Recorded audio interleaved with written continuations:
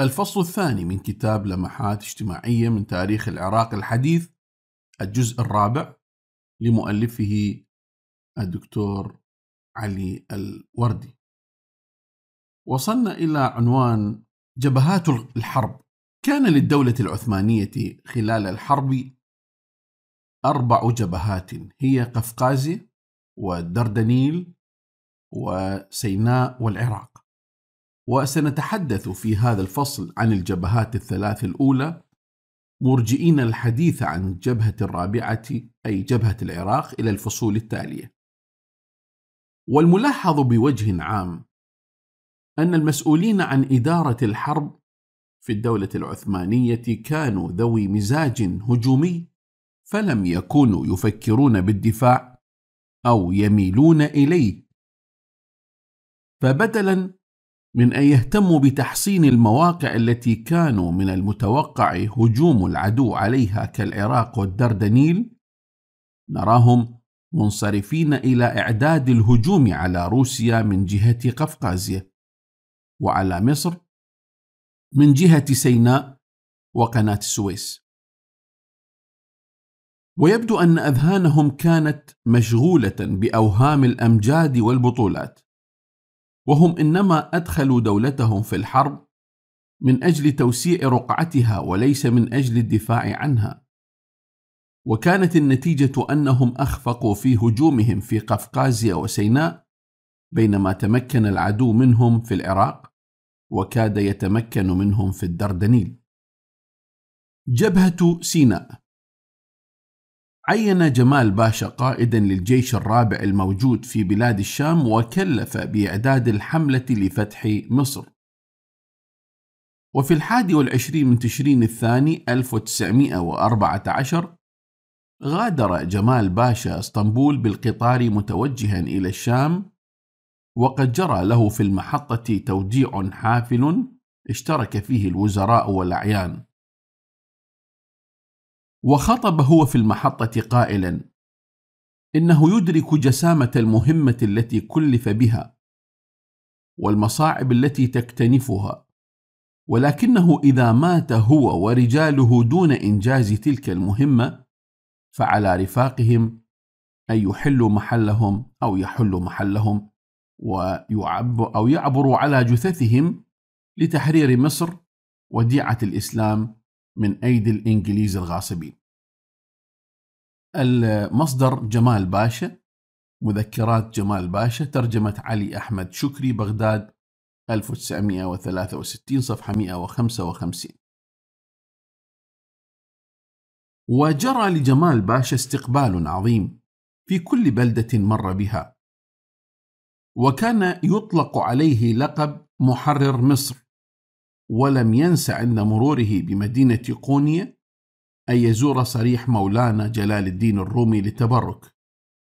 وقد التحق به هناك بعض دراويش المولوية من الشباب وشكلوا كتيبة خاصة بهم سارت بعد إذن مع الحملة لفتح مصر. وفي الخامس من كانون الأول 1914 وصل جمال باشا إلى دمشق وكانت المدينة قد زينت له بأبهى زينة ونصبت له أقواس النصر وحضر الألوف لاستقباله في محطة القطار ونحرت تحت قدميه الذبائح وألقيت في مديحه القصائد. وكان من جملة القصائد التي ألقيت بين يديه قصيدة طويلة ألقاها الشيخ عبد الرحمن أفندي القصار بعنوان مصر تستغيث نقتطف منها الأبيات التالية. جمال الدنا والدين والملك من سعت لدعوته من كل شعب أعاظمه. تناديك مصر المسلمين وملكهم لتنقذها ممن تعدت مظالمه. مشى جي جيشك الجرار للحرب مسرعا. تحف به الأملاك والله عاصمه. جمال العلا جمال العلا أسرع. فجيش عدونا لصارمك اشتاقت وحنت جماجمه. يغرر ملك, ملك الإنجليز بجيشه ويحشده في مصر. والله قاصمه. وقبل وصول جمال باشا إلى دمشق ببضعة أيام جرى في المدينة المنورة احتفال عظيم لإخراج اللواء الشريف المحفوظ في المسجد النبوي وإرساله إلى دمشق وهو عبارة عن قطعة من أحد الأكسية التي تغطي الضريح المقدس باعتبارها الراية التي كان النبي يحملها في غزواته. وفي الثلاثين من تشرين الثاني 1914 نشرت صحف دمشق بلاغا فحواه أنه بمناسبة إعلان الجهاد الأكبر جرى احتفال مهيب عند قبر الرسول في المدينة المنورة شهده عشرون ألفا من المؤمنين حيث آه، أخرج لهم اللواء الشريف فجرى ما يليق به من التبجيل تمهيدا لنقله إلى دمشق لكي يتبرك به الجيش العثماني المعد لفتح مصر وفاز بشرف نقل اللواء رجل من سلالة الرسول كبير السن اسمه السيد علوي بافقيه من أو مع أولاده الثلاثة. المصدر هو أحمد عزة الأعظمي القضية العربية بغداد 1933 الجزء الخامس صفحة 47 إلى 50 وقد نشرت صحف دمشق في أماكن بارزة آه، برقية أرسلها السيد علوي إليها قال فيها بالرغم من أني تجاوزت السبعين وتلبية لما فرضه الله علينا من الجهاد فإني أتقدم ومعي أبنائي ثلاثة لنجاهد في سبيل الله عز وجل حاملا بإحدى يدي راية الرسول المشرفة وباليد الأخرى كتاب الله الذي فرض الجهاد على المؤمنين كافة. إن هتافات عشرين ألفا من المسلمين ودعواتهم ترن في أذني وأنا أتوجه إلى دمشق وملء نفسي الإخلاص والرغبة في أن أموت شهيدا لإعلاء كلمة الله. إن أرض الحجاز ومن فيها من القبائل جميعا قد لبت نداء خليفتنا المعظم. انتهى كلام السيد علوي. وفي الخامس عشر من كانون الأول وصل موكب اللواء الشريف اللواء الشريف بالقطار إلى دمشق فجرى له فيها استقبال عظيم جدا وكان في المحطة جمال باشا والوالي وكبار الضباط والموظفين والأعيان كما كان فيها مندوبون من مختلف بلاد الشام. وعندما وقف القطار وضع اللواء آه، على آه، وضع اللواء على منصة خاصة وأدى له حرس الشرف التحية برفع أسلحتهم ثم ركع جمال باشا وقبل طرف اللواء وهتف الجمهور الله أكبر. ثم سار الموكب في شوارع دمشق تتقدمه الموسيقى. ونقل اللواء بعدئذ إلى مدينة القدس فوصل إليها في العشرين من كانون الأول وأقيم له هناك احتفال كبير في الساحة الواسعة المحيطة بقبة الصخرة برعاية جمال باشا ثم اختتم الاحتفال اختتم الاحتفال بإقامة الصلاة في المسجد الأقصى. وأودع اللواء هنالك انتظارا لليوم الذي يحمل عاليا في مقدمة الجيش الذاهب لفتح مصر. ويشاء القدر أن يموت السيد علوي بافقيه بعد ثلاثة أيام من وصوله إلى القدس. فصدرت الأوامر إلى الوعاظ بأن ينتشروا بين الناس يشيدون بموته ويعظمون من شأنه ويعتبرون وفاته نذيرا وشؤما لأعداء المسلمين. وفي الرابع طبعا هذا مأخوذ من كتاب جورج أنطونيوس يقظة العرب ترجمة ناصر الدين الأسد وإحسان عباس بيروت 1962 صفحة 229 إلى 231 وفي الرابع عشر من كانون الثاني 1915 تحركت الحملة من فلسطين باتجاه قناة السويس عبر صحراء سيناء. وكانت القدس والمدن الفلسطينية الأخرى قد آه، علقت في ساحاتها وشوارعها بعض الآيات القرآنية وهي مكتوبة بخط عريض واضح نصر من الله وفتح قريب. وادخلوا مصر ادخلوا مصر إن, إن شاء الله آمنين. كان جمال باشا على رأس الحملة وقد كتب في مذكراته يقول وفي خلال تلك الحملة هذا القول لمن؟ لجمال باشا يقول وفي خلال تلك الحملة ونحن نواصل السير بالليل على ضوء القمر كان قلبي مفعما بالكآبة الممزوجة بالأمل الكبير في النجاح كلما آه، رددت الموسيقى أنشودة الراية الحمراء تخفق فوق القاهرة والتي على وقعها آه، شقت الصفوف الزاحفة طريقها في ذلك القفر المظلم الذي لا نهاية له. ولا أعد مبالغا إذا قلت إن ذلك الجيش الذي آه، لم يسمح لفرد من أفراده سواء كان القائد العام أو الجندي الصغير أن يتناول في اليوم أكثر من 650 غراما من البقسماط وقليل من التمر والزيتون فضلا عن الاقتصاد الكلي في استعمال الماء كان يندفع بقوة الآمال العزيزة. كلما اقترب من هدفه فقد رسخ في نفس كل فرد فيه اعتقاد جازم بسهولة عبور القناة والثبات في الخنادق في الضفة الغربية وقيام الوطنيين المصريين بمهاجمة الإنجليز من الخلف. هذا الكلام كله لجمال باشا. طبعا مأخوذ من كتاب جمال باشا المصدر السابق طبعا الصفحة 170 و 171 نعود إلى المتن يقول الدكتور الوردي قضت أو قضت أو قضت الحملة قضت الحملة في مسيرتها زهاء عشرين يوما واتخذت في السير سبلا في قلب الصحراء بعيدة عن ساحل البحر. وكانت تسري ليلا وتستقر نهارا خشية أن يكتشف أو يكتشف أمرها أمرها العدو. ونجحت الحملة في ذلك نجاحا لا يستهان به إذ هي وصلت إلى مقربة من القناة دون أن يعرف العدو عنها شيئا. وعند وصول الحملة إلى القناة كان قد استولى على جنودها الإرهاق ولم يكن لديها من الماء والطعام إلا ما يكفيها أياما قليلة. فأذاع جمال باشا عليهم بيانا يستثير حماسهم على طريقة طارق بن زياد قائلا أيها الجنود إن الصحارى القاحلة لتمتد وراءكم والعدو الجبان أمامكم ومصر الخصيبة خلف هذا العدو وهي مشتاقة إلى الترحيب بكم ترد ترددتم فلن يكون نصيبكم إلا الموت. فإلى الأمام فإن الجنة أمامكم.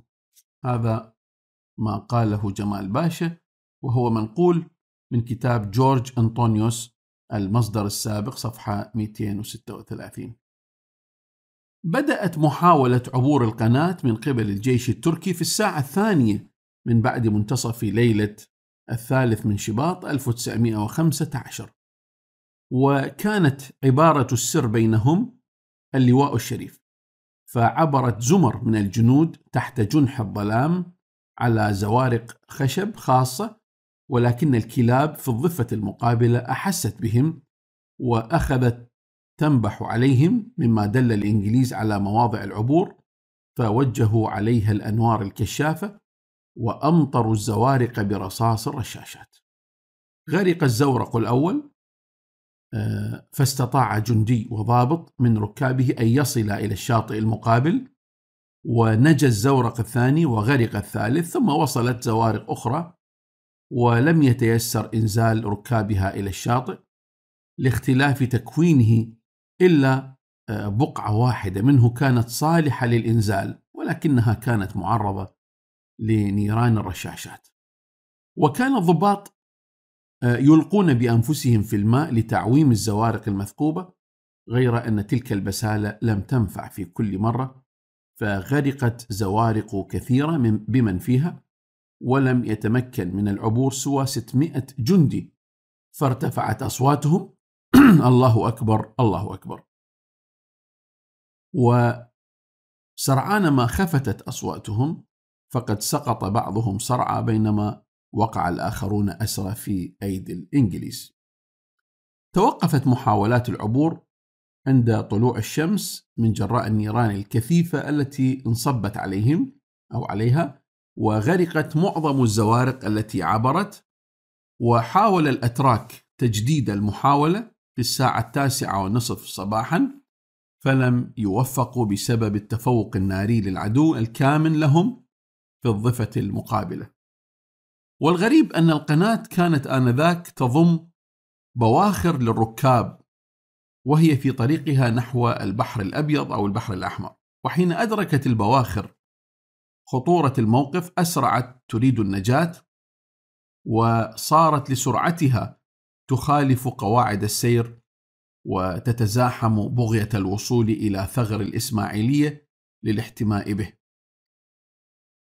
الهوامش طبعا المصادر هي شكري محمود نديم حرب فلسطين بيروت 1965 صفحة 32 وعلي فؤاد كيف غزونا مصر؟ 1962 صفحة 143 نعود إلى المتن. يقول الدكتور علوردي اجتمع قواد الحملة في مقر القائد العام جمال باشا عند الظهر وكان بينهم قائدان ألمانيان هما فون كريس وفون فرانكنبرغ. فوجه جمال باشا كلمة إلى الحاضرين قائلا ليس القصد من هذا الاجتماع توزيع المسؤولية بل التعرف على حقيقة الموقف فيجب إبداء الرأي بلا حيطة أو حذر. وإذا كان هناك أمل بالنجاح بنسبة 30 أو 40% فإنه لا يحجم عن المخاطرة. فكان رأي فون آه، فرانكنبرغ آه، أن الأمل بالنجاح أصبح مفقودا.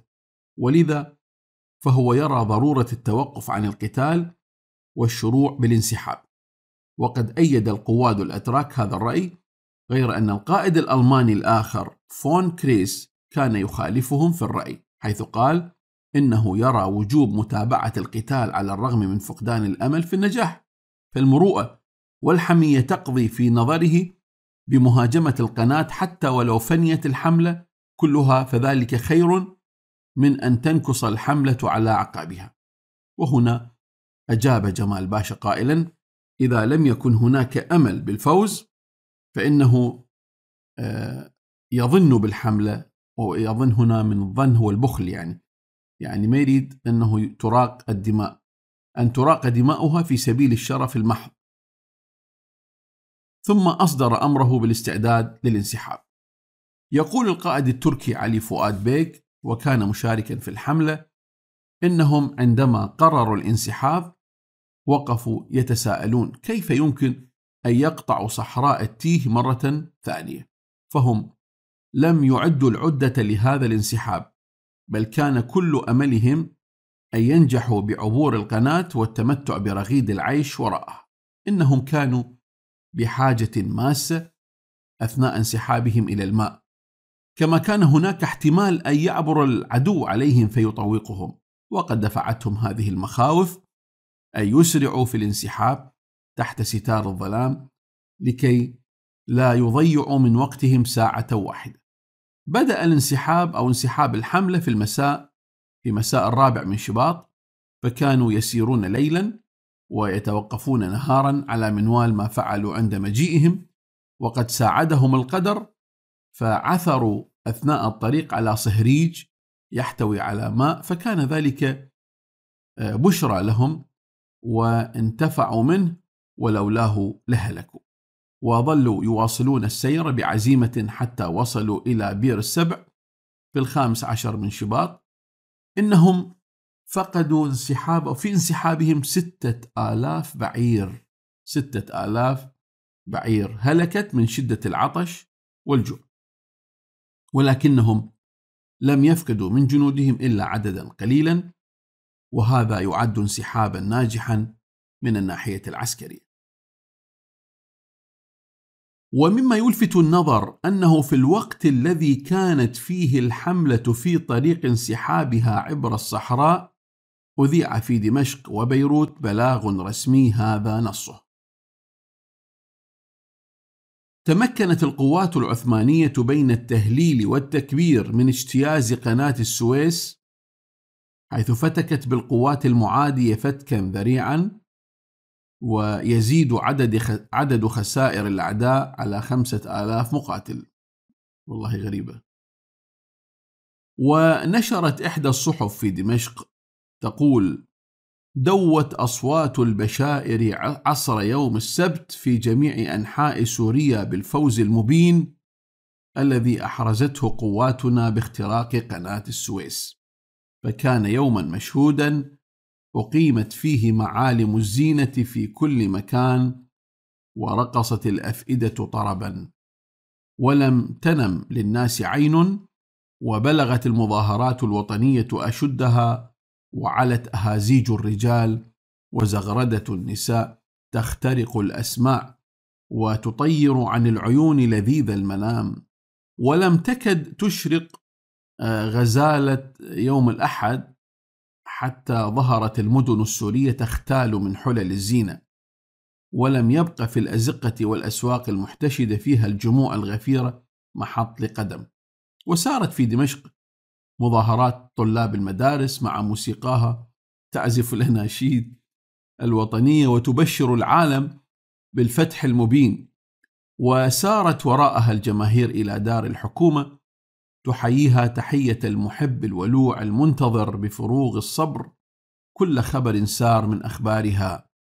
وعند ذاك خرج إلى الشرفة الوالي وهيئة الحكومة لتحية المخلصين. وانصرفت الجموع.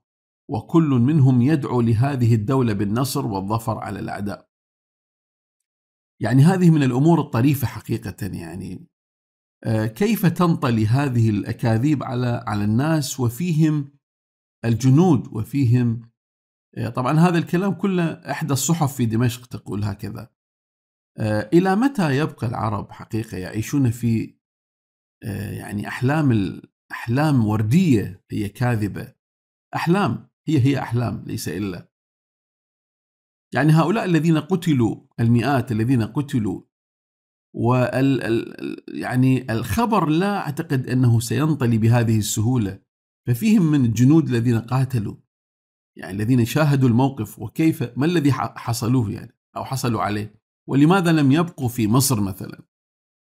على كل والأطرف من هذا والكلام للدكتور علي الوردي طبعا والأطرف من هذا أن مظاهرة خرجت في بيروت ابتهاجا بعبور القناة وقد أحضر المتظاهرون زورقا مزينا بالأعلام على زعم أنه أحد الزوارق التي تمكنت القوات العثمانية بها من عبور القناة ووضعوا الزوارق على عربة وأخذوا يجرونها في الشوارع فيهتف بعضهم هيللا هيللا فيرد الآخرون عليهم آه، هيللي هيللي أخذنا الترعة الحمد لله الحمد لله واستمرت المظاهرات طيلة ذلك اليوم وألقى أحدهم في ساحة البرج قصيدة هنأ بها الجيش العثماني وقائده المظفر جمال بن نصر العظيم وأعقبه شاعر آخر بقصيدة أخرى. هذا كله مأخوذ من مجلة الأسرار البيروتية في عددها الصادر في السابع والعشرين من نيسان 1938 مبارك على هذه المجلة هذه الأخبار الحقيقية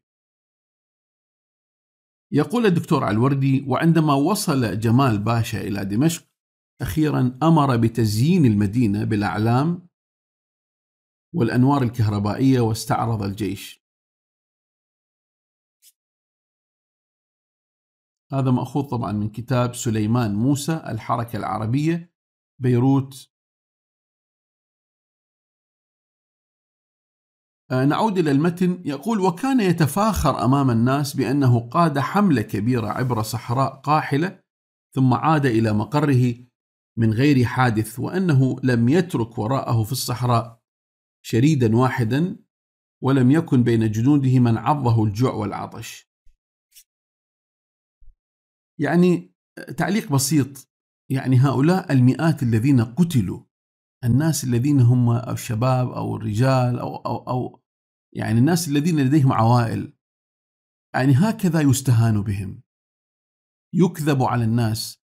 نعم هي ربما تكون ضرورية في حكم الدول لكنه لا يمكن أن أن يجري هذا الأمر على من يسمى بخليفة المسلمين. خليفة مسلمين يعني لا يكذب بهذه الطريقة.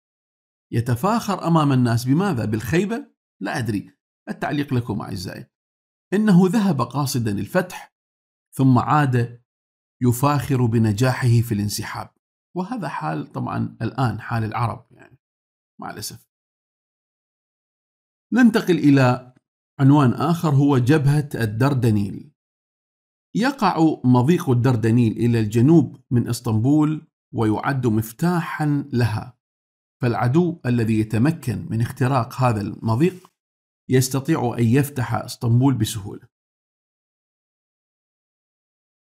يحد مضيق الدردنيل من الشرق الدردنيل من الشرق سواحل تركيا الآسيوية ومن الغرب شبه جزيرة آه، غاليبولي أو غاليبولي. ويبلغ طول غاليبولي 52 ميلا وهي ذات أرض وعرة جدا مليئة بالجبال والوديان وسواحلها شديدة التعرج تكتنفها المرتفعات. وهناك موقع في المضيق هو أضيق مكان فيه وتشرف عليه قلعة اسمها آه، جناق قلعة. ولهذا كانت جبهة الدردنيل يطلق عليها اسم جناق قلعة أحيانا واسم غاليبولي أحيانا أخرى. تقع على جانبي مضيق الدردنيل عدة قلاع مشرفة عليه علاوة على جناق طلعة. وقد بنى هذه القلاع بعض السلاطين في أزمان متعاقبة من أجل حماية إسطنبول. وعندما أعلن النفير العام في تركيا لم تكن القلاع في حالة جيدة وكانت تنقصها المدافع الحديثة. إن المسؤولين عن إدارة الحرب في تركيا كانوا كما أشرنا إليه من قبل ذوي مزاج هجومي. ولذا أهملوا تلك القلاع الدفاعية ولم يهتموا بأمر تحصينها كما ينبغي. في الثالث من تشرين الثاني 1904 1904 أي بعد يومين من إعلان بريطانيا الحرب على تركيا أطلقت قطع الأسطول البريطاني قنابلها على قلاع الدردنيل وكان القصد من ذلك تخويف تركيا. لكي تتجنب الدخول في الحرب. ولكن إطلاق القنابل أضر ببريطانيا دون أن ينفعها شيئا حيث جعل الأتراك يتنبهون إلى أهمية الدردنيل وإلى ضرورة الاهتمام العاجل بتقوية قلاعه وتسليحها. وقد شرعوا فعلا بالعمل في ذلك بالتعاون مع الألمان فأصبحت القلاع بعد وقت قصير في حالة من المناعة لا يستهان بها. وفي شهر شباط 1915 قرر الحلفاء مهاجمة الدردنيل بالسفن الحربية وحدها وكانت تلك فكرة المستر وينستون تشرشل الذي كان يوم ذاك وزيرا للبحرية البريطانية فقد كان واثقا بأن قنابل السفن الحربية الضخمة قادرة على دك قلاع الدردنيل. وفي التاسع عشر من شباط اقتربت سفن بريطانية وفرنسية من الدردنيل وأخذت ترمي قلاعه بقنابلها الضخمة ولكن الأتراك صمدوا لهذا القصف واستمرت المعركة طيلة شهر كامل آه، غرق فيها للحلفاء ثلاث بوارج كبيرة وعطلت لهم ثلاث بوارج أخرى. وتبين للحلفاء أخيرا أنها حملة فاشلة فقرروا إيقافها. صمم الحلفاء على القيام بحملة أخرى تشترك فيها القوات البرية مع الأسطول وعينوا الجنرال هاملتون قائدا لها وقد وصل هذا القائد إلى الإسكندرية للعمل على إعداد الحملة. وعلم الأتراك بأمر تلك الحملة فحشدوا الكثير من قواتهم في الدردنيل وعينوا الجنرال فون ساندرز الألماني قائدا لها. وفي صباح الخامس والعشرين من نيسان بدأ الهجوم حيث برز من خلال الضباب المخيم على سواحل غاليبولي الجنوبية عدد هائل من السفن الحربية من بوارج ومدمرات وناقلات. وأخذ الجنود ينزلون منها إلى السواحل وكان ذلك إيذانا ببدء معارك طاحنة حصدت فيها الأرواح حصدا. وقد استمرت المعارك ثلاثة أشهر تقريبا دون أن يحظى المهاجمون آه، فيها بطائل. ومع أنهم قد حصلوا على موطئ قدم لهم على الساحل غير أنهم لم يستطيعوا التوغل في الداخل كثيرا. وكان الأتراك متحصنين على المرتفعات المشرفة فوقهم يقاتلون ببسالة منقطعة النظير وهم يهتفون الله أكبر. وقد تجلت في تلك المعارك مقدرة القائد التركي مصطفى كمال بيك وهو الذي أصبح أول رئيس للجمهورية التركية بعد الحرب. وكان يوم ذاك برتبة قائم مقام أي عقيد. وقد أبدى من الحزم والشجاعة وسرعة البديهة أمرا عجيبا. يقول بارتلت مندوب صحافة لندن في معارك الدندليل الدردنيل إن السبب في فشل الحلفاء في تلك المعارك يعود إلى خطأ اقترفه الجنرال هاملتون فهو بدلا من مهاجمة الأتراك في مواقعهم الضعيفة راح يهاجمهم في مراكزهم القوية واستحكاماتهم المنيعة مخالفا بذلك القواعد الحربية التي أشار إليها نابليون بقوله يجب مهاجمة العدو في أضعف مكان منه بكل ما لدينا من سلاح وذكير وذخيرة ورجال. طبعا هذه مأخوذة من الكتب. أرمسترونغ مصطفى كمال القاهرة صفحة 70 وعمر أبو النصر الحرب العالمية الأولى بيروت الجزء العاشر صفحة 27 إلى 52 يقول الدكتور الوردي يبدو أن هاملتون أدرك سر خطئه فأراد أن يتلافاه في حملة جديدة. وأخذ يعد العدة لها واختار لها موقعا في الشمال الغربي من شبه جزيرة غاليبولي وكان يستهدف من وراء ذلك تطويق القوات التركية في شبه الجزيرة وقطع خط اتصالها بإسطنبول.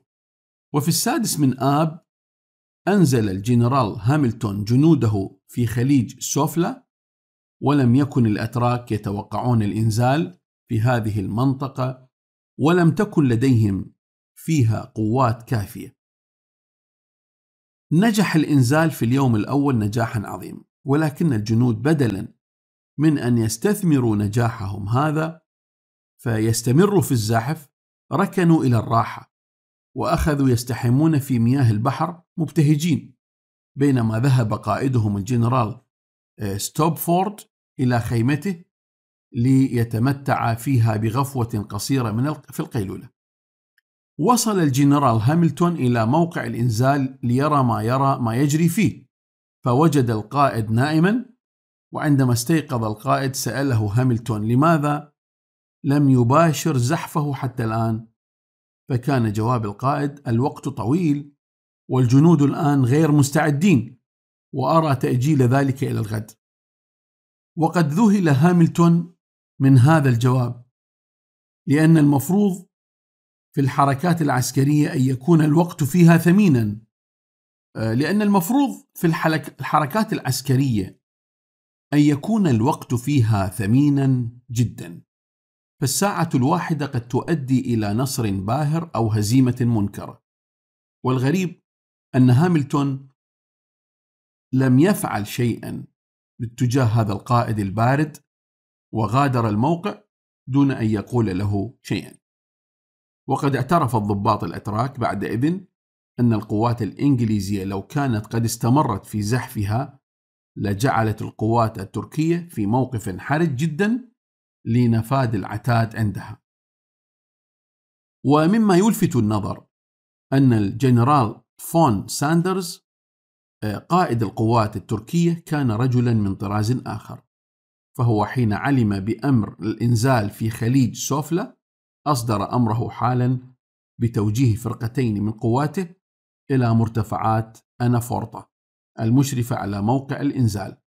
ثم ركب حصانه وذهب إلى تلك المرتفعات ليتفقد الأمور بنفسه وكانت إحدى الفرقتين لم تصل في الوقت المحدد لها فأرسل فون ساندرز يستدعي إليه قائد الموقع الميرالاي فيضي بيك ويسأله عن السبب في تأخر الفرقة عن الوصول. فكان جواب القائد إن التعب الذي أصاب الجنود هو الذي أخر الفرقة عن الوصول. وعند هذا أمر فون ساندرز بعزل هذا القائد المتكاسل وعين مصطفى كمال بيك بدلا عنه. وقد أنجز هذا القائد الجديد مهمته بكل جدارة مما أدى إلى فشل حملة الحلفاء للمرة الثانية. وقد منح مصطفى كمال بيك على أثر ذلك رتبة الباشوية وأطلقت الصحف التركية عليه لقب منقذ الدردنيل والعاصمة. ظلت المعارك مستمرة على الشواطئ بضعة أشهر بعد أن تحولت إلى حرب خنادق وأخذ بعض الجنود السنغاليين يجرحون أنفسهم عمدا لكي يتهربوا من القتال. كما كان بعضهم يضعون عقاقير مضرة في عيونهم فيفقدون بصرهم مؤقتا أو نهائيا إذ هم يعدون ذلك أفضل من معاناة أهوال الحرب. هذه آه، مأخوذة من الكتب عمر الديراوي الحرب العالمية الأولى بيروت 1966 صفحة 164 إلى 165 وويليام يالي أوب 6 آه، صفحة 224 وعمر أبو النصر المصدر السابق الجزء التاسع صفحة 2 إلى 16 وأرمسترونغ المصدر السابق صفحة 70 إلى 71 وعمر أبو النصر المصدر السابق الجزء الثامن صفحة 38 نعود إلى المتن يقول وقرر الحلفاء أخيرا الخلاص من هذه المحنة والانسحاب من شواطئ الدردنيل وصرح بعض وزراء بريطانيا أن نفوذ بريطانيا وهيبتها قد تمرغ في وحول الدردنيل. هنا آه، نستوق يعني أستوقفني هذا الكلام. شوف الفرق بين ما فعله جمال باشا قبل قليل. خسر العبور طبعا لم يستطع العبور من قناة السويس وخسر المئات من الجنود فاحتفل. بينما هنا خسرت بريطانيا فماذا قالوا؟ يعني بعض الوزراء قال إن نفوذ بريطانيا وهيبتها قد تمرغ في وحول الدردنيل. انظر إلى الفرق بين الواقعية وبين الخيال. نعود إلى المتن يقول بدأ انسحاب الحلفاء من سواحل الدردنيل في العاشر من كانون الأول 1915 وانتهى في التاسع من كانون الثاني 1916 ويعد هذا الانسحاب العمل العسكري الوحيد الذي نجح أو نجح فيه الحلفاء في الدردنيل. والواقع أنه كان قطعة رائعة من الفن العسكري وقد وصفه فون ساندرز بأنه كان على جانب عظيم من الدقة والمهارة والسرعة. ومعنى هذا أن الحلفاء فشلوا في الهجوم غير أنهم نجحوا في الانسحاب.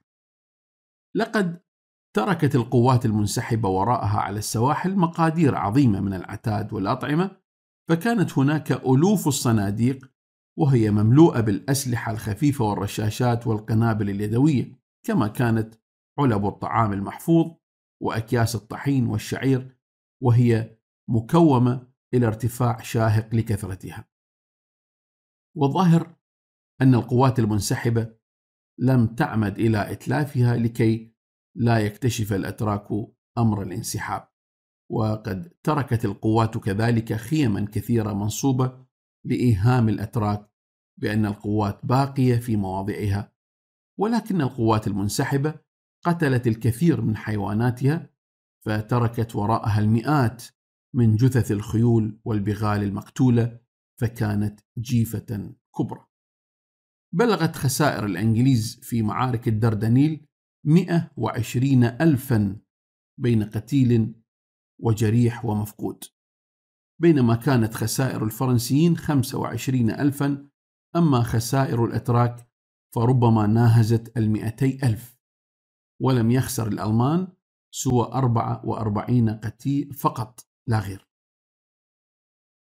آه، طبعا وفي ظني أن هؤلاء الذين قتلوا مع الإنجليز ومع الفرنسيين لا أظن ظني أنهم لم يكونوا فرنسيين ولا من البريطانيين. هذا كما اعتاد هؤلاء آه، تجدهم من الهنود وغير الهنود والمغرر بهم من كل الدول الأخرى التي كانت تسيطر عليها فرنسا وبريطانيا هذا هو الذكاء. نأتي إلى عنوان آخر هو الهلع في إسطنبول. حينما كانت المعارك ناشبة في الدردنيل كان الهلع مسيطرا على إسطنبول. والواقع أن الهلع بدأ منذ الأيام الأولى من عام 1915 وذلك حين أخذت الإشاعات تروج عن قرب هجوم الحلفاء على الدردنيل وتقدمهم نحو إسطنبول.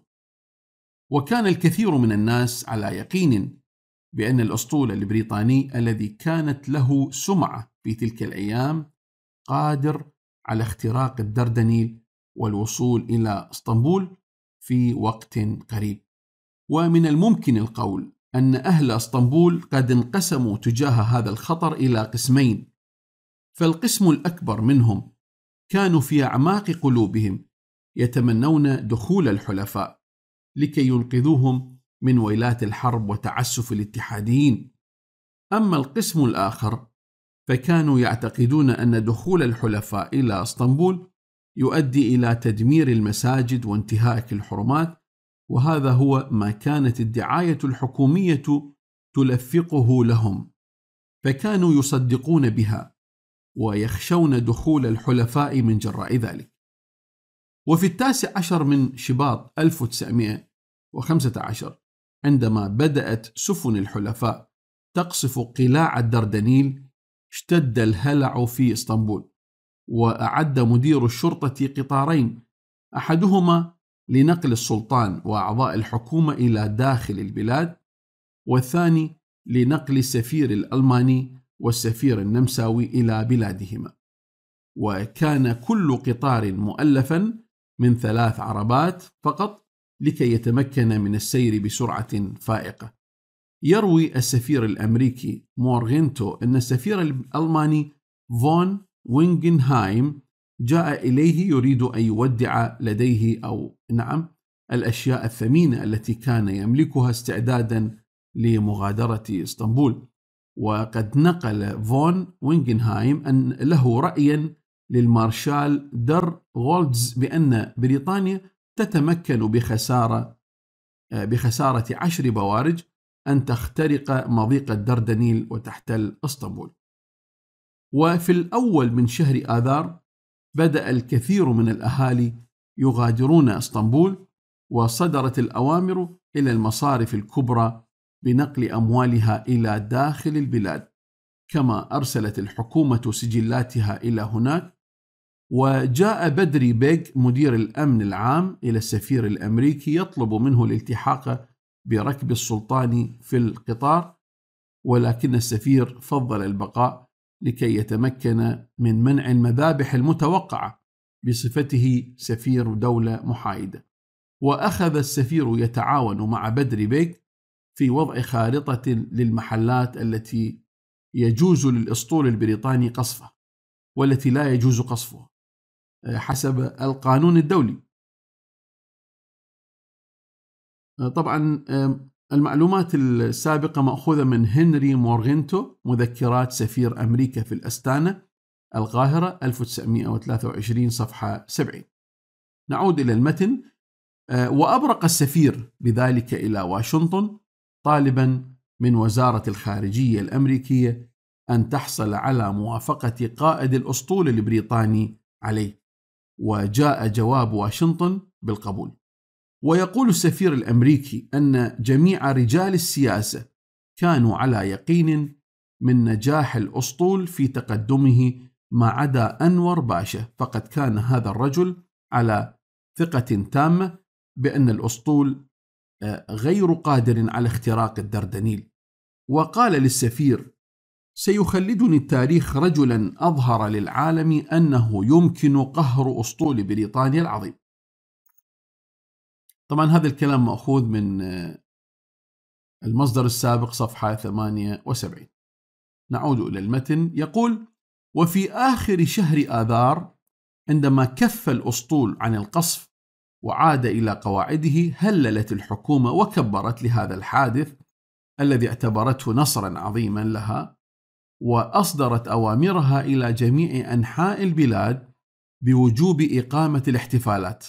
يعني ماذا أفهم هذه الاحتفالات على أقل أمر أو على أي الأمور التا... يعني أمور تافهة يقيمون احتفال ويرقصون ويهللون ويكبرون لا أدري ما هي آه، وهذه جارية طبعا لحد الآن.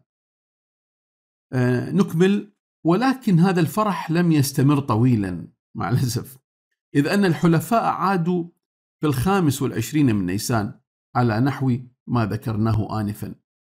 فهاجموا الدردنيل بقواتهم البرية والبحرية معا وشرع السلطان وأعضاء الحكومة يستعدون للسفر من جديد. وفي الثاني من أيار أخبر أنور باشا السفير الأمريكي بأن سفن الحلفاء قصفت في غالبولي قرى غير محصنة وقتلت فيها كثيرا من سكانها المسلمين وطلب إليه أن يبرق إلى بريطانيا وفرنسا تهديدا بأنه إذا استمرت سفنهم بقصف القرى فسوف آه، ينقل إلى تلك القرى رعايا بريطانيا وفرنسا الموجودين في إسطنبول ليكونوا عرضة للقصف فيها. وقال أنور باشا غاضبا آه من هؤلاء الإنجليز الجبناء. جربوا أن يخترقوا الدردنيل فباءوا بالذل والخسران. وها هم يثأرون لأنفسهم قنابلهم قنابلهم تدمر قرانا ومستشفياتنا ومستشفياتنا وتهلك إخواننا وأهلينا. وفي اليوم التالي أخذ بدري بيج يلقي القبض على رعايا بريطانيا وفرنسا وعين موعدا قريبا لسفرهم إلى غاليبولي وبذل السفير الأمريكي محاولات كثيرة مع أنور باشا ليقنعه بالعدول عن قراره. وتم الاتفاق معه. أخيرا على أن يرسل من أولئك الرعايا خمسين شابا فقط. وقد نقل, نقل هؤلاء الخمسين إلى غاليبولي فذاقوا فيها العذاب ألوانا. وفي التاسع من أيار وصلت إلى السفير آه، من واشنطن برقية. مفادها أن بريطانيا ستلقى على أو تلقي على أنور باشا شخصيا مسؤولية سوء معاملة الرعايا الأجانب. وذهب السفير إلى أنور يخبره بذلك ويرجوه إعادة الرعاية من غالبولي فصاح أنور مزمجرا إنهم لن يرجعوا. سأتركهم هناك حتى ينتنوا. وليغتالني أولئك الإنجليز إذا تمكنوا مني. ولكن الرعايا أعيدوا إلى إسطنبول على أي حال وكانت صحتهم جيدة. وفي السادس من آب عندما وصلت إلى إسطنبول أخبار الإنزال البريطاني في خليج سوفلا اشتد الهلع في المدينة إلى الدرجة القصوى. يقول الجنرال فون ساندرز في مذكراته إن بعض السكان تهافتوا على محلة بيك أوغلي يستأجرون شرفات المنازل فيها لمشاهدة جيش الاحتلال عند مروره في شوارع العاصمة.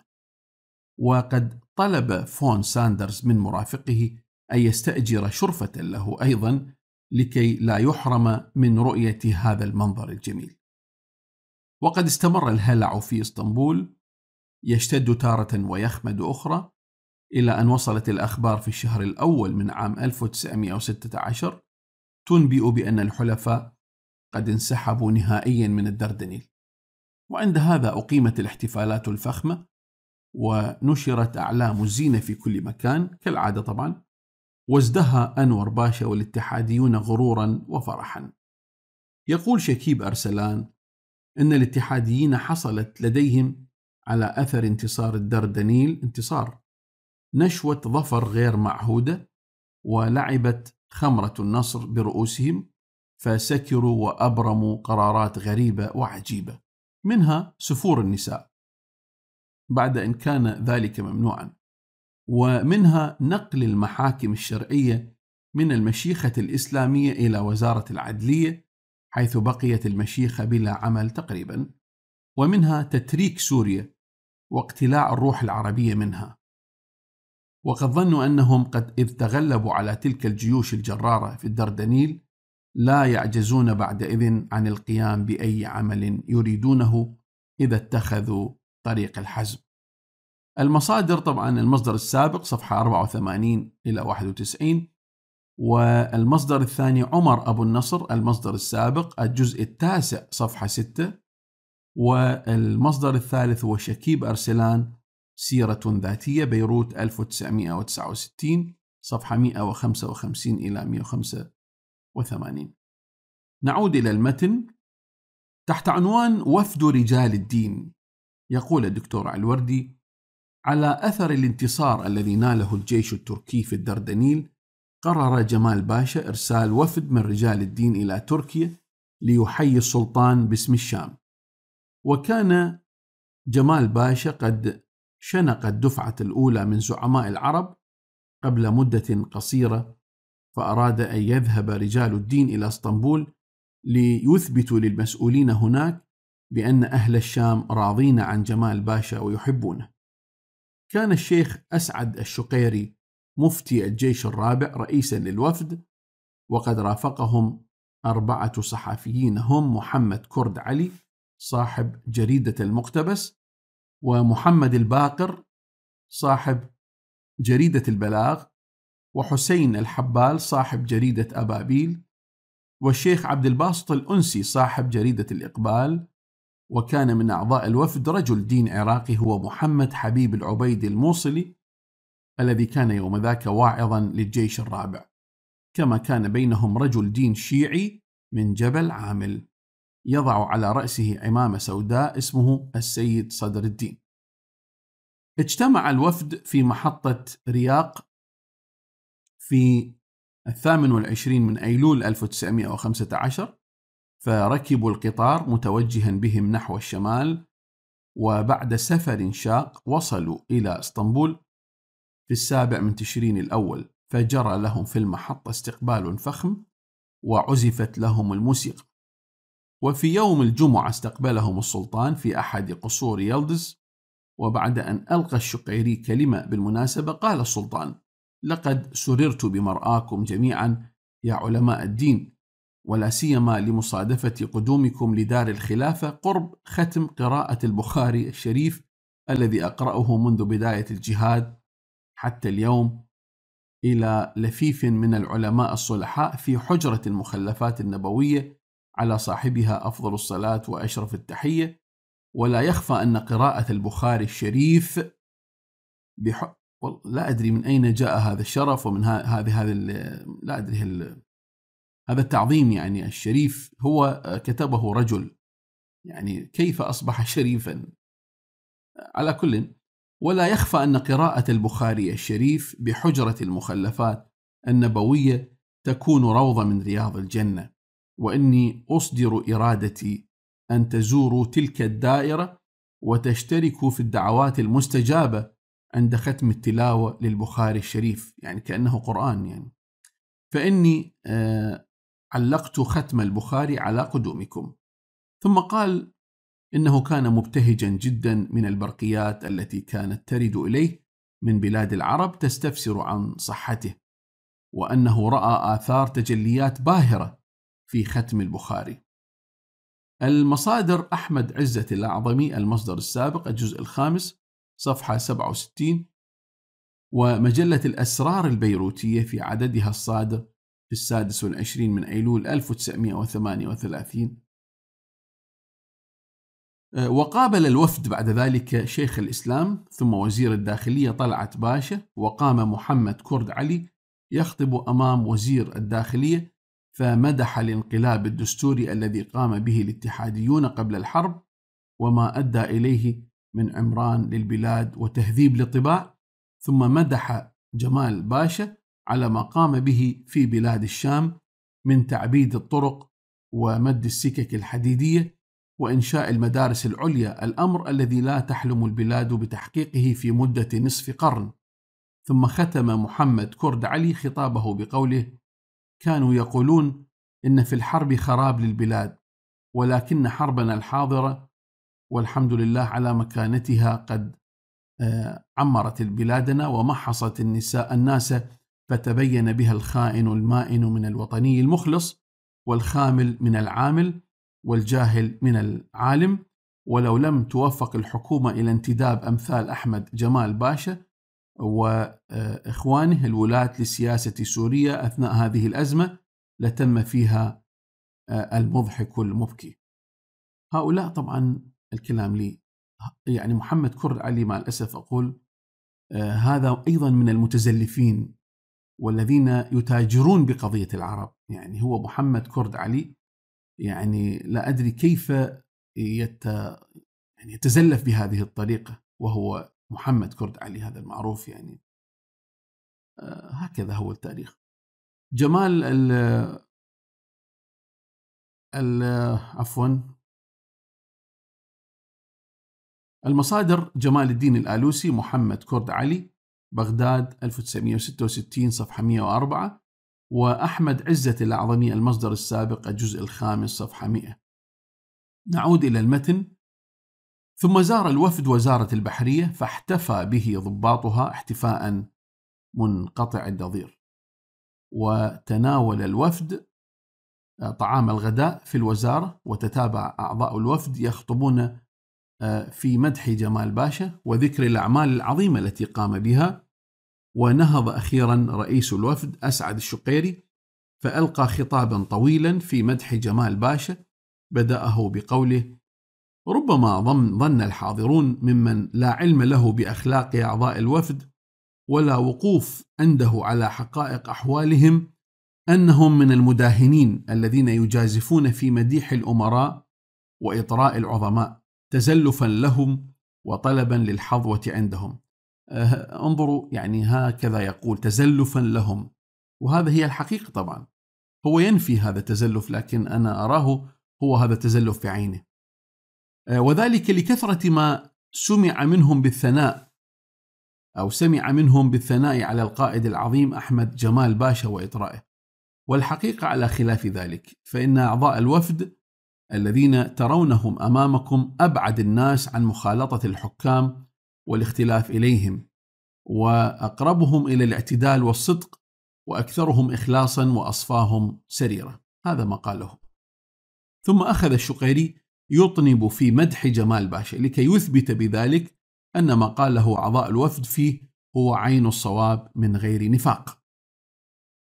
ثم ختم خطابه الطويل بقوله إن جمال باشا لكثرة الأعمال العظيمة التي قام بها في بلاد الشام يعدونه من الشخوص الخيالية التي يصورها الوهم وينفيها الحس والعقل. لذلك هم يقدسونه بين قوسين طبعا. لذلك هم يقدسونه من أعماق قلوبهم ويقدسون كل من كان على شاكلته من رجال العمل المخلصين. انتهى القوس. وبعد أن تجول الوفد في إسطنبول والدردنيل وغيرها عاد إلى بلاده وأقيمت له في دمشق حفلة عظيمة حضرها جمال باشا والأمير فيصل بن الشريف الحسين الشريف حسين وكبار الموظفين آه، والأعيان. وبعد أن ألقى الشقيري خطبة طويلة في وصف ما لقي الوفد من تكريم في البلاد التي زارها نهض الشيخ علي الريماوي المقدسي فألقى قصيدة تحتوي على أكثر من خمسين بيتا حيا فيها جمال باشا وكان مطلعها سرى وفدك الغازي ومثلك يوفد وعاد بملء البشر والعود أحمد. طبعا هذه المعلومات مأخوذة من جمال الدين الآلوسي المصدر السابق صفحة 108 إلى 112 جبهة قفقازية. نقصد بقفقازيا تلك المنطقة التي تقع إلى الشمال الشرقي من تركيا وهي منطقة جبلية وعرة يبلغ ارتفاع بعض قممها عشرة آلاف قدم ويسكنها أقوام مختلفون كالأرمن والأكراد والأتراك والكرج والأذربيجانيين والداغستانيين وتختلط فيها شتى الأديان والمذاهب مما أدى إلى وقوع مذابح طائفية عديدة وكثيرا ما نشبت الحروب الطاحنة فيها بين الروس والأتراك. كان الواجب على تركيا أثناء الحرب أن تقف في جبهة قفقازيا موقف الدفاع لكي تتفرغ للجبهات الأخرى التي هي أكثر أهمية منها. والواقع أن هذه الجبهة تصلح للدفاع أكثر من صلاحها للهجوم وذلك لوعورتها وكثرة الجبال فيها وقد يكفي للدفاع عنها وضع قوات صغيرة في بعض النقاط السوقية منها فيصعب على العدو عندئذ اجتيازها.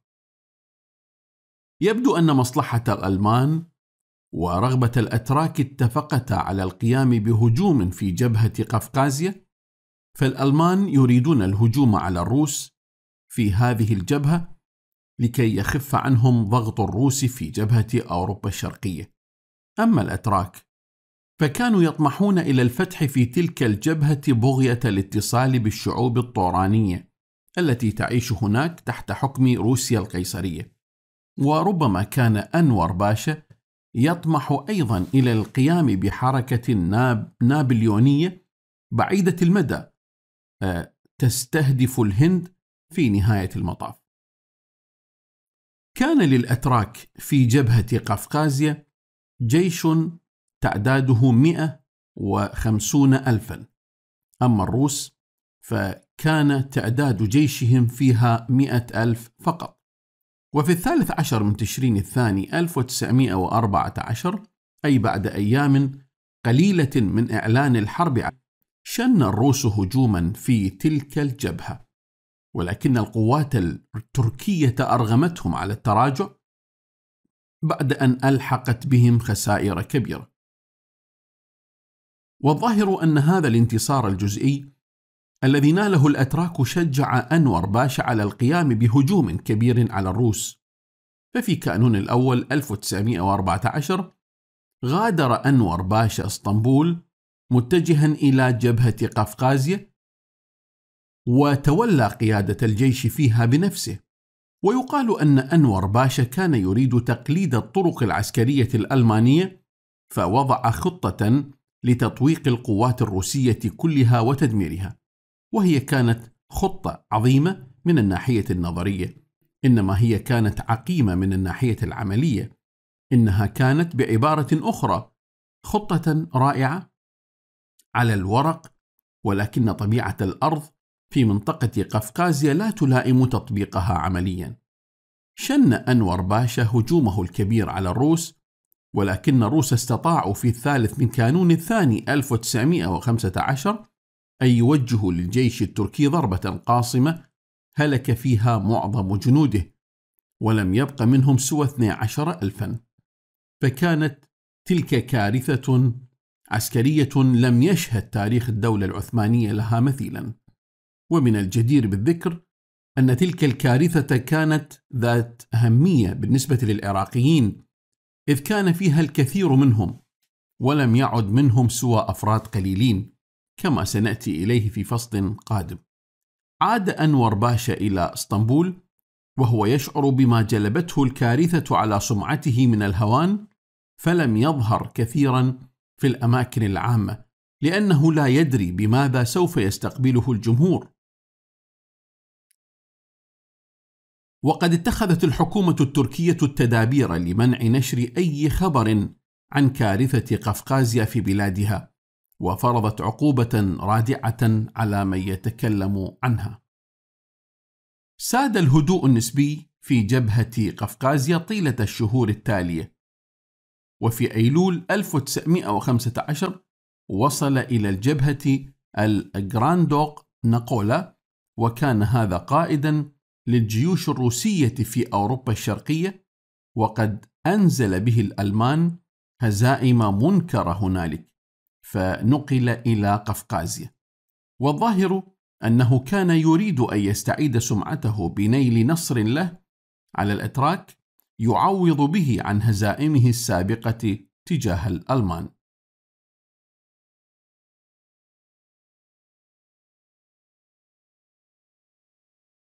وضع الغراندوق خطته على أساس أن يكون الهجوم على الأتراك في الشتاء. ولم يكن الأتراك يتوقعون هجوما في ذلك الفصل الذي تكون الطرق فيه مغمورة بالثلوج. وشرع لغراندوق يعد العدة للهجوم بتكتم شديد. وفي السابع عشر من كانون الثاني 1916 بدأ هجومه وأخذت قواته تسير من نصر إلى نصر فاحتل مدينة أرض روم في السادس عشر من شباط وتعتبر هذه المدينة أعظم نقطة سوقية في المنطقة كلها. ثم احتلت قواته بعد ذلك ميناء طرابزون الواقع على البحر الأسود ومدينتي موش وبتليس الواقعتين إلى الغرب من بحيرة وان.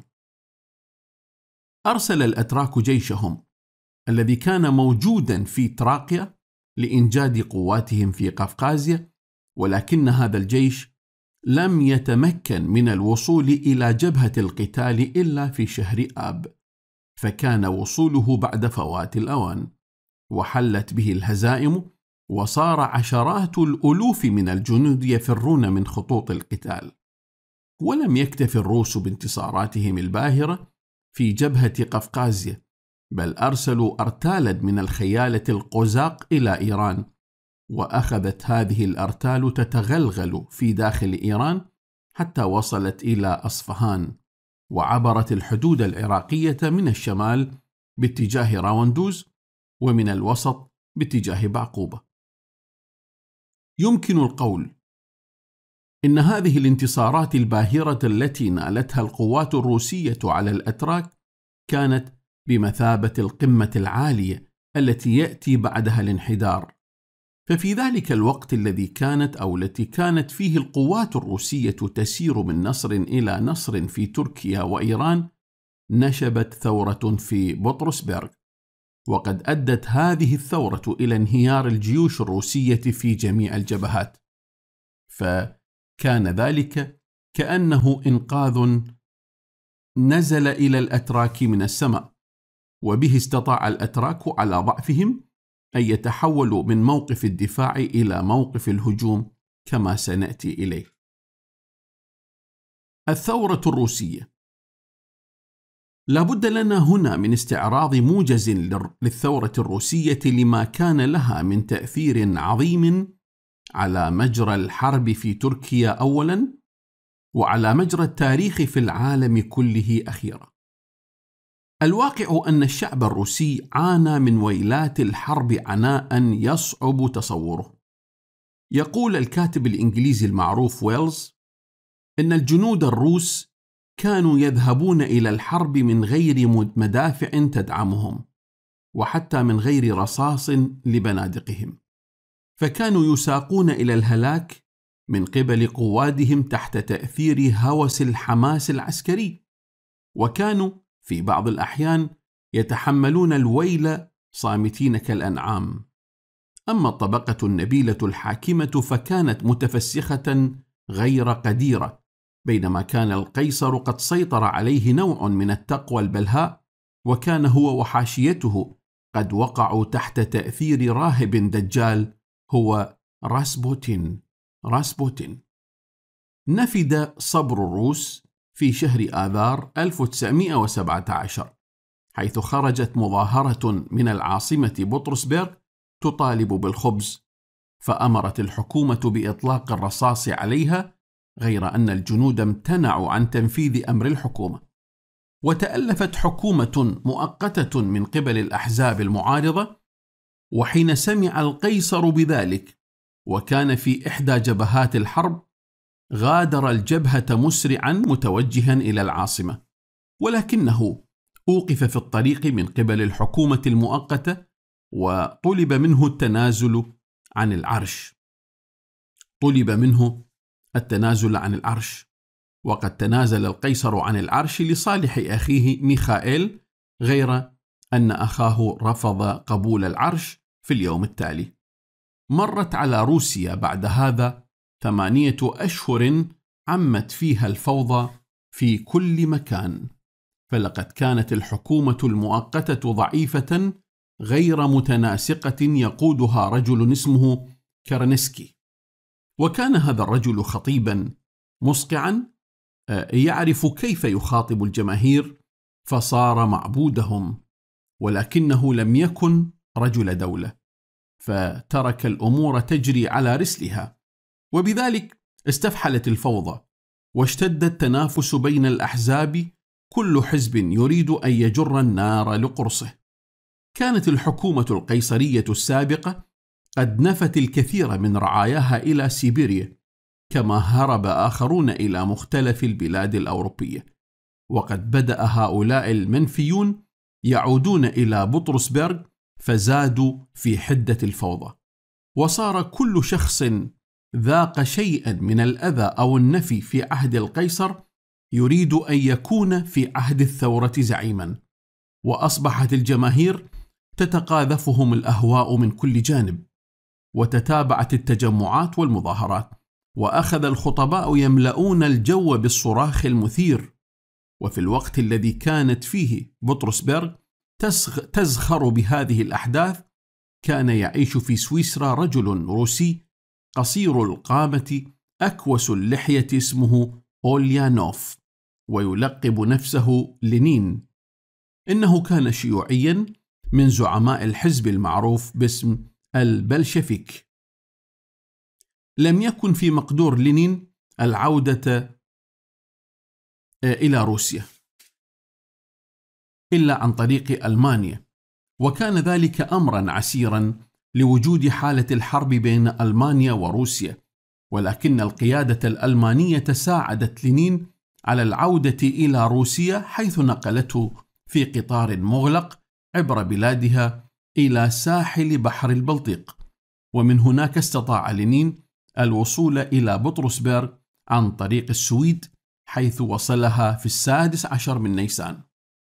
والمظنون أن القيادة الألمانية كانت تبغي من إعادة لينين إلى روسيا زيادة الفوضى فيها وما درت أنها أرسلت إلى روسيا رجلا سيغير مجرى التاريخ فيها وسيجعلها من أعظم دول العالم في وقت قصير. كان لينين من طراز أولئك الرجال الذين يجمعون في أنفسهم بين الحماس والحكمة وكان يختلف عن الكثير من الشيوعيين الذين لا يعرفون من دنياهم سوى النصوص المحفوظة يهتفون بها ويتحمسون لها دون أن يفقهوا فحوها فهو لم يكد يصل إلى بطرسبرغ حتى بدأ العمل أو بدأ العمل وفق خطة واضحة في ذهنه دون أن يهتم بالشعارات المرفوعة أو الهتافات. أصبحت بطرسبرغ يوم ذاك ميدان صراع بين رجلين من طرازين مختلفين. فقد كان كرنسكي من جانب يثير الجماهير بخطبه الرنانة بينما كان لينين من الجانب الآخر يفكر تفكير من يرمي ببصره إلى الأفق البعيد دون أن يهتم بالإغراءات الآنية. كان كرنسكي يريد مواصلة الحرب وأخذ يخطب في الجنود محمسا لهم. أما لينين فكان يعتبر الحرب مهلكة أو مهلكة للجنود البائسين ولا يستفيد منها سوى الحكام وأصحاب الأموال. كان لينين يدعو إلى وقف الحرب حالا وعقد الصلح مع ألمانيا بأي ثمن لكي يتفرغ بعدئذ إلى بناء دولته على أسس جديدة ولهذا صار خصومه يتهمونه بأنه عميل للألمان وخائن لوطنه ولم يكترث لينين لهذه التهم بل سار في طريقه لا يلوي على شيء.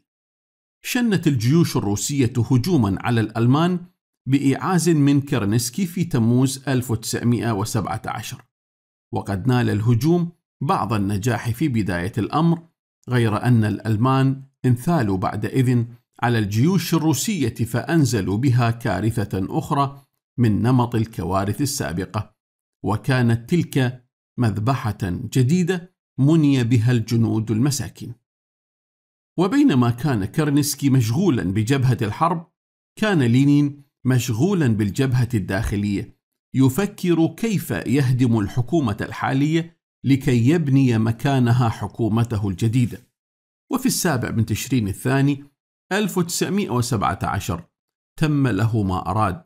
فقامت ثورة في بطرسبرغ بقيادته وبدأت منذ ذلك الحين تلك الطفرة الاجتماعية الكبرى التي لا ندري أين ينتهي المطاف بها. سميت تلك الثورة بثورة أكتوبر أي تشرين الأول على الرغم من كونها حدثت في تشرين الثاني. ويعزى سبب ذلك إلى أن روسيا كانت في تلك الأيام تجري على التقويم الشرقي وهو يقل عن التقويم الغربي بثلاثة عشر يوما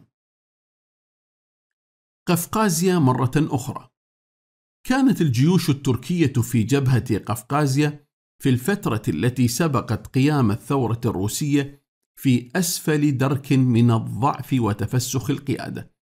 يقول أرمسترونغ في وصفها: كان ينقصها كل شيء من الطعام والذخائر والأسلحة، وكانت ثياب الجنود قد غدت أسمالا مهلهلة، كما كانت مواد تموينهم تختلس وتنهب، فمتعهدو الجيش يرشون الضباط الذين بيدهم الأمر والنهي ويشاركونهم أرباح الصفقات. فاثرى الفريقان من هذه السرقات على حساب تموين الجيش. وكذلك كانت الخدمة الطبية على أسوأ حال. فالجنود يموتون بالألوف تاثرا بالدوزنتاريا والتايفوس وغيرها من الأمراض. فضلا عن موت الكثيرين منهم تاثرا بالبرد والجوع. انتهى كلامه. أرسلت القيادة التركية العليا إلى جبهة قفقازيا قائدا نزيها صارما هو مصطفى كمال باشا بطل الدردنيل. وقد بدأ هذا القائد بحملة تطهير شملت اللصوص من الضباط والمتعهدين فأنزل بهم عقوبات شديدة لا تعرف الرحمة. وقد تصور بعضهم أن في مقدورهم آه، رشوته وعرضوا عليه مشاركتهم في أعمال السلب والنهب فكان رده عليهم أنه أمر بشنقهم كما أمر بجلد كل من ثبت عليه أية تهمة مخلة مخلة بالنزه أو مخلة بالنزه وعندما نشبت الثورة الروسية في آذار كان أثرها شديدا في جبهات الحرب حيث أخذ الكثير من الجنود الروس يعصون أوامر ضباطهم ويفرون عائدين إلى بيوتهم. وأرادت القيادة التركية انتهاز الفرصة لاستعادة المناطق الواسعة التي كانت القوات الروسية قد احتلتها في شرقي الأناضول وشرعت القوات التركية تتقدم بقيادة مصطفى كمال باشا ولكن تقدمها كان بطيئا جدا لما كانت تعانيه من ضعف في الرجال ونقص في التموين وقد استطاعت على أي حال أن تسترجع وان وبتليس وموش. وواصلت تقدمها نحو باطوم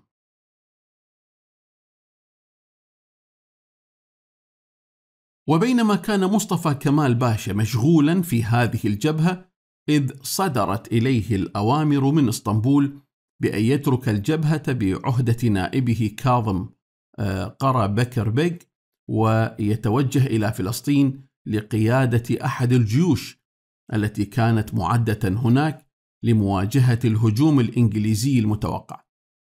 يبدو أن أنور باشا كان مهتما بأمر الهجوم في قفقازيا أكثر من اهتمامه بأمر الدفاع عن فلسطين. وقد أدى ذلك إلى خلاف في الرأي بينه وبين القادة الألمان كتب القائد الألماني فون ساندرز يقول إن التقدم التركي في إيران كان السبب في ضياع بغداد والآن يمكن أن يكون التقدم في قفقازيا سببا في ضياع البلاد العربية الأخرى. ففي آذار من عام 1918 عقدت معاهدة الصلح بين ألمانيا والحكومة البلشفية الجديدة وفيها وافقت الحكومة البلشفية على الجلاء عن المناطق التركية التي كانت القوات الروسية قد احتلتها سابقا في شرقي الأناضول وتسليم أردهان وقارص وباطوم إلى تركيا. وأراد أنور باشا استغلال تلك الفرصة إلى الحد الأقصى فأمر القوات التركية بالتقدم نحو باكو.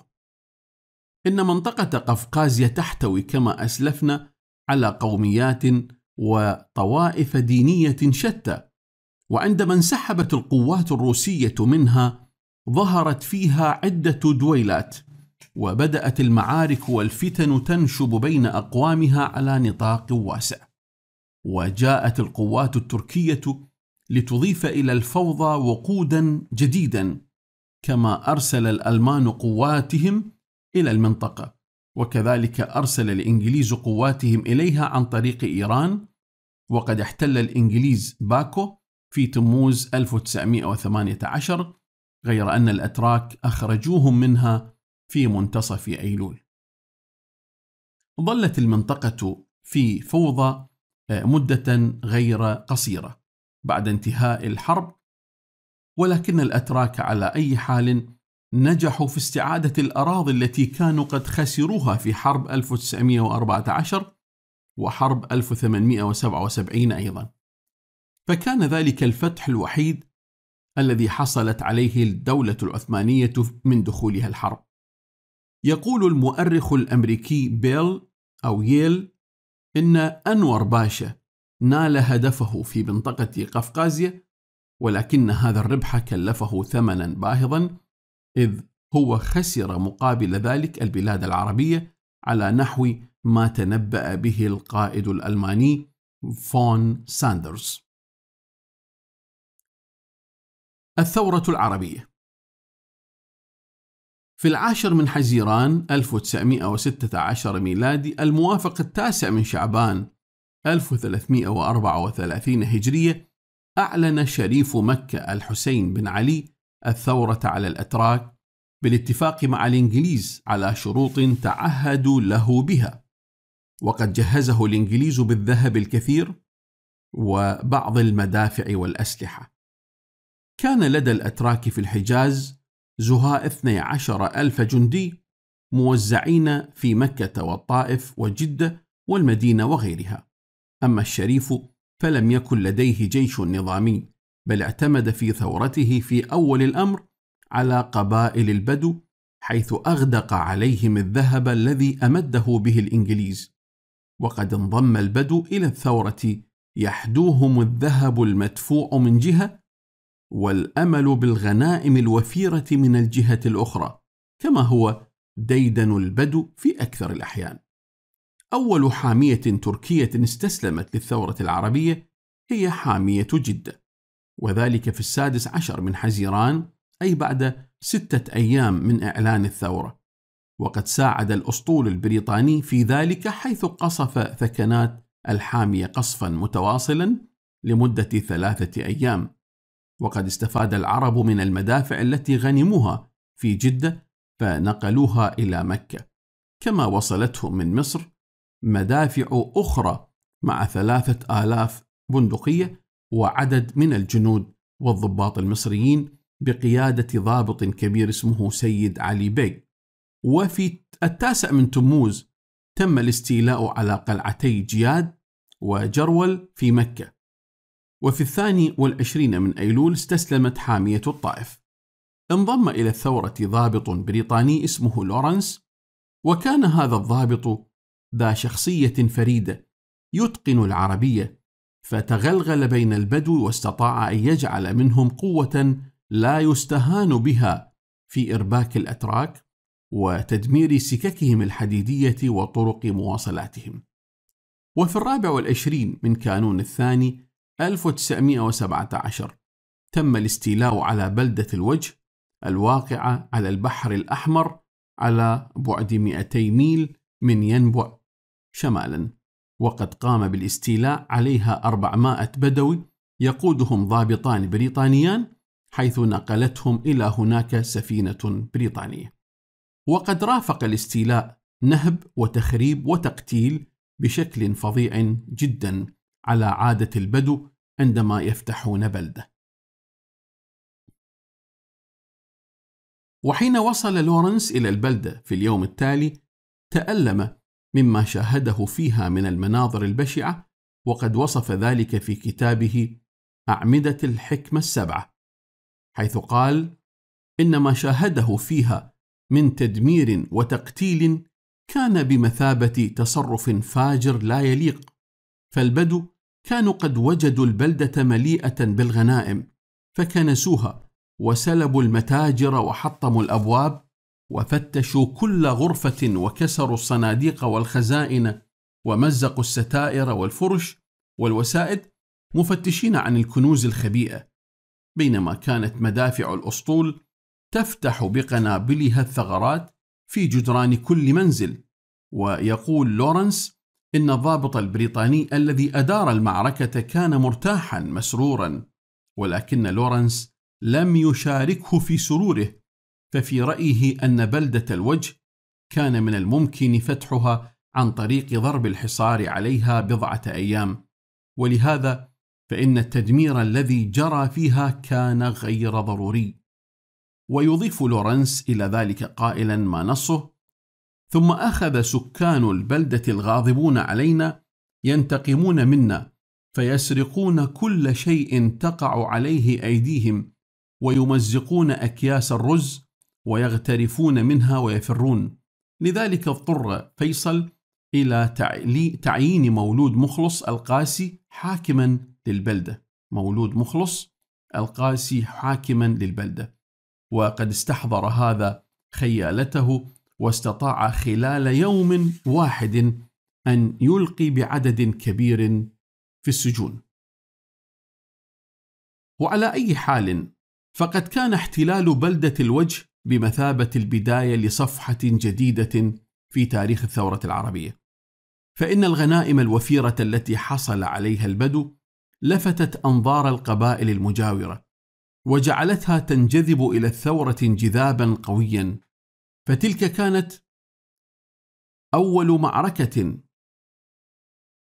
يظفر البدو فيها بالغنائم على طريقة الفرهود وهذا أمر يشتهيه البدو من أعماق قلوبهم ويتفاخرون به إذ هو محور مهم من محاور تراثهم الاجتماعي. في الخامس من نيسان 1917 انضم إلى الثورة العربية رجل يعد نموذجا للشخصية البدوية هو الشيخ عودة أبو تايه. إنه كان رئيس عشيرة الحويطات التي تسكن بالقرب من العقبة وكان أشهر رجل في تلك الأنحاء. ومضرب المثل في الشجاعة والكرم والمعروف عنه أنه شمل بغزواته مساحة واسعة من البادية تمتد بين مكة والبصرة وحلب ولكنه كان على كثرة الغنائم التي غنمها أو غنمها في غزواته تلك لا يملك شيئا لأنه أنفقها كلها على ضيوفه والقاصدين له. وكانت جفنته التي يقدم الطعام بها لضيوفه تسع ما يكفي لخمسة وعشرين رجلا في آن واحد. والمعروف عنه كذلك أنه قتل بيده خمسة وسبعين رجلا من العرب. أما قتلاه من الأتراك فلا حصر لهم لأنهم لا يستحقون العد في نظره. كان انضمام الشيخ عودة أبو تايه إلى الثورة كسبا كبيرا لها وقد فرح بذلك الأمير فيصل بن الحسين فرح فرحا لا مزيد عليه كما فرح به لورنس. وقد جمع الشيخ عودة من عشيرته خمسمائة رجل فهاجم بهم قوة تركية كانت معسكرة قريبا من العقبة وكانت تلك أول مرة في تاريخ الثورة يقوم بها البدو بالهجوم المباشر على قوة نظامية جيدة التسليح. وقد أدار عودة المعركة بشجاعة فائقة اعتمد فيها على المباغتة وانتصر فيها انتصارا ساحقا ولم يترك عودة لرجاله وقتا يرتاحون فيه عقب المعركة بل حثهم حثا شديدا باتجاه العقبة. وفي السادس من تموز دخلوا العقبة وهم في غاية الجوع والعطش والتعب ولكنهم كانوا يسوقون أمامهم قطيعا من الأسرى الأتراك يفوقونهم عددا. يعتبر احتلال العقبة نقطة تحول كبرى في تاريخ الثورة العربية. ومما زاد في أهميتها أن بريطانيا بدأت حينذاك تولي اهتماما فوق العادة للجبهة الفلسطينية فعينت الجنرال الليمبي قائدا لها. وقد وصل هذا القائد إلى مركز قيادته في القاهرة قبل أيام معدودة من احتلال العقبة. كان لورنس قد غادر العقبة عقب احتلالها برفقة ثمانية رجال من عشيرة الحويطات وكان يلبس الملابس البدوية مثلهم. فوصلوا بعد مسيرة شاقة على الأباعر إلى الإسماعيلية. فترك لورنس أصحابه هناك وسافر هو بالقطار إلى القاهرة. ثم دخل على الليمبي وهو بزيه البدوي حافيا وصار يتحدث إليه عن احتلال العقبة وأهميتها لحركات الجيش الإنجليزي في الجبهة الفلسطينية. وقد قرر الليمبي على أثر هذه المحادثة مع لورنس دعم القوات العربية بكل الوسائل الممكنة لتكون الجناح الأيمن لجيشه في حركاته المقبلة. عاد لورنس إلى العقبة بعد أن زودته القيادة الإنجليزية بسلطة واسعة وذهب آه، وذهب كثير كما رفعت رتبته العسكرية من كابتن إلى كولونيل أي من نقيب إلى عقيد وصار, وصار لورنس يخرج بالتعاون مع الشريف ناصر والشيخ عودة أبو تايه لشن الغارات على خطوط مواصلات الأتراك وقطاراتهم فأنزل بهم ضربات مريعة. وأدرك الأتراك خطورة لورنس عليهم فأعلنوا جائزة قدرها خمسون ألف ليرة ذهب لمن يأتي به حيا أو ميتا. وفي شهر تشرين الثاني 1917 وقع لورنس في قبضة الأتراك ولكنه فلت منهم بأعجوبة. وخلاصة القصة أنه ذهب إلى بلدة درعا بزي بدوي بغية التجسس فلمحه هاشم بك حاكم درعا وكان هذا الحاكم لوطيا يحب الغلمان. ومما يجدر ذكره أن لورنس كان ذا وجه صبياني يبدو أصغر من سنه الحقيقية فاشتهاه الحاكم وطلب من أحد الجنود أن يأتي به إليه. ويقص لورنس في كتابه كيف حاول هاشم آه، بيك اللواط به عن طريق الإغراء تارة وعن طريق القسر تارة أخرى. ويدعي لورنس أنه استطاع أن يتحمل العذاب بصبر وقاوم محاولات هاشم بعناد ثم تمكن من الهرب أخيرا. وتشير بعض القرائن إلى أن هذا الادعاء من لورنس لا يخلو من مبالغة أو هو غير صحيح. هناك رسالة بعث بها لورنس إلى زوجة برنارد شو اعترف فيها بأنه لم يستطع احتمال العذاب وأنه استسلم في النهاية لشهوة هاشم بك ويقال أن عقدة نفسية شديدة سيطرت على لورنس من جراء تلك الفعلة الشنعاء التي فعلها به هاشم بيك وظلت هذه العقدة تلازمه طيلة حياته. ومن مفارقات القدر أن الجنرال الليمبي كان مشغولا بإعداد هجومه على فلسطين في نفس الوقت الذي كان فيه هاشم بيك مشغولا بلواط لورنس. وفي السابع من تشرين الثاني 1917 استطاع الليمبي أن يحتل غزة. وفي الحادي عشر من كانون الأول فتح القدس ويقال أن لويد جورج رئيس الوزارة البريطانية كان قبل ذلك قد أبدى رغبته للجنرال الليمبي في أن يكون فتح القدس هدية للأمة البريطانية بمناسبة عيد الميلاد. وقد حقق الليمبي رغبة رئيس الوزراء.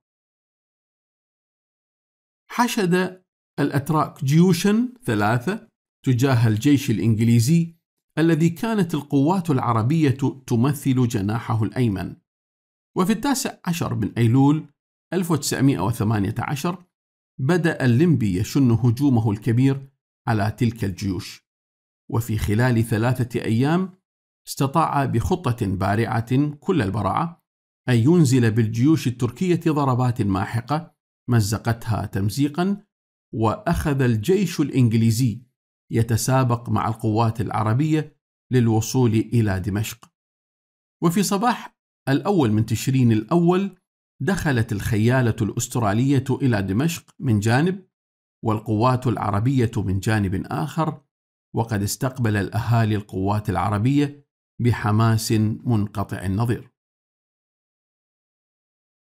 الضباط العراقيون والثورة التحق بالثورة العربية في الحجاز عدد كبير من الضباط العرب، وكان معظمهم من العراقيين، وهم الذين تولوا المناصب العالية في العراق بعد الحرب عندما تأسست الحكومة العراقية كما هو معروف. أول ضابط عراقي التحق بالثورة هو شريف أفندي الفاروقي، وهو من آل العمري في الموصل. وكان هذا الضابط يقاتل في صفوف الجيش التركي في معارك الدردنيل، واستطاع أن يهرب إلى الإنجليز فنقلوه إلى القاهرة، وهناك أطلعه الإنجليز على المفاوضات التي كانت تجري بينهم وبين الشريف الحسين قبل إعلانه الثورة. فكتب هو في السادس من كانون الأول 1915 كتابا إلى الشريف. يضع نفسه في خدمته ويقول نحن رجال ليس لنا أرب سوى الاستقلال ونحن مستعدون لتضحية للتضحية كل ما يلزم لهذا الاستقلال لأن منافع الطرفين متحدة كل الاتحاد ونحن نرى الموت حياة في سبيلنا ولنا ثقة بأنفسنا واعتماد واعتماد على بريطانيا العظمى التي جاهرت بعون العرب والتي تحب أن تصاحب العرب أصحاب السيادة في العالم الإسلامي وتعينهم على استقلالهم لاتحاد المصلحتين. انتهى كلامه. فأجابه الشريف يشكره على هذا الكتاب ثم عينه ممثلا له في القاهرة. أما الضابط العراقي الثاني الذي التحق بالثورة فهو نور السعيد وكان قد هرب من الأتراك قبل اندلاع الحرب. والتجأ إلى السيد طالب النقيب في البصرة.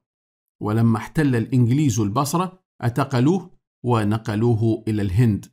وعندما نشبت الثورة العربية طلب منهم التطوع فيها فنقلوه إلى مصر. كان في الهند آه، معتقل معتقل للأسرى اسمه آه، سمربور. يقع على بعد 100 كيلومتر من بوم. بومبي. وكان فيه في وقت نشوب الثورة العربية زهاء 300 ضابط عربي وأربعة آلاف جندي وكان معظمهم عراقيين من الذين أسرهم الإنجليز في معارك العراق. ولم يكن هؤلاء يعلمون بخبر الثورة عند نشوبها إلا قليل منهم كان قد أخبرهم بها السيد حسين أفنان الذي كان يعمل هناك مترجما في خدمة الإنجليز. وفي منتصف حزيران 1916 اختار الإنجليز من بين الأسرى عشر ضباط و150 جنديا من المختصين بالمدفعية بحجة أنهم سينقلونهم إلى العراق لمبادلتهم بأسرى من الإنجليز ونقلوهم إلى بومبي بالقطار ومن هناك أبحروا بهم في باخرة متجهة إلى السويس في مصر. وقد وصلت الباخرة إلى السويس في أواسط تموز ولم تكد الباخرة تصل إلى رصيف الميناء حتى صعد إليها ضابط إنجليزي ومعه نور السعيد. فأخذ نوري يكلم الأسرى قائلا إن الشريف حسين قد قام بالثورة وليس هنا مجال المناقشة حول الثورة هل هي صحيحة أم لا؟ ولكن دعنا نناقش الأمر من ناحية أخرى. هامش محمد طاهر العمري مقدرات العراق السياسية بغداد 1925 الجزء الأول صفحة 219 إلى 233 انتهى الهامش. نعود. آه، يقول لهم نور السعيد هل من الواجب علينا نحن ذوي المبادئ القومية من عراقيين وسوريين أن ننضم إليها أم لا؟ فنحن لو رفضنا الانضمام إليها لجاء الإنجليز بضباط من مستعمراتهم هنود ومصريين وجاء الفرنسيون بضباط تونسيين أو جزائريين أو مغاربة وبهذا تكون الثورة تحت قيادة ضباط من المستعمرين بدلا من أن تكون تحت قيادتنا نحن ذوي المبادئ القومية حيث نوجهها عندئذ كما نرغب ونشتهي.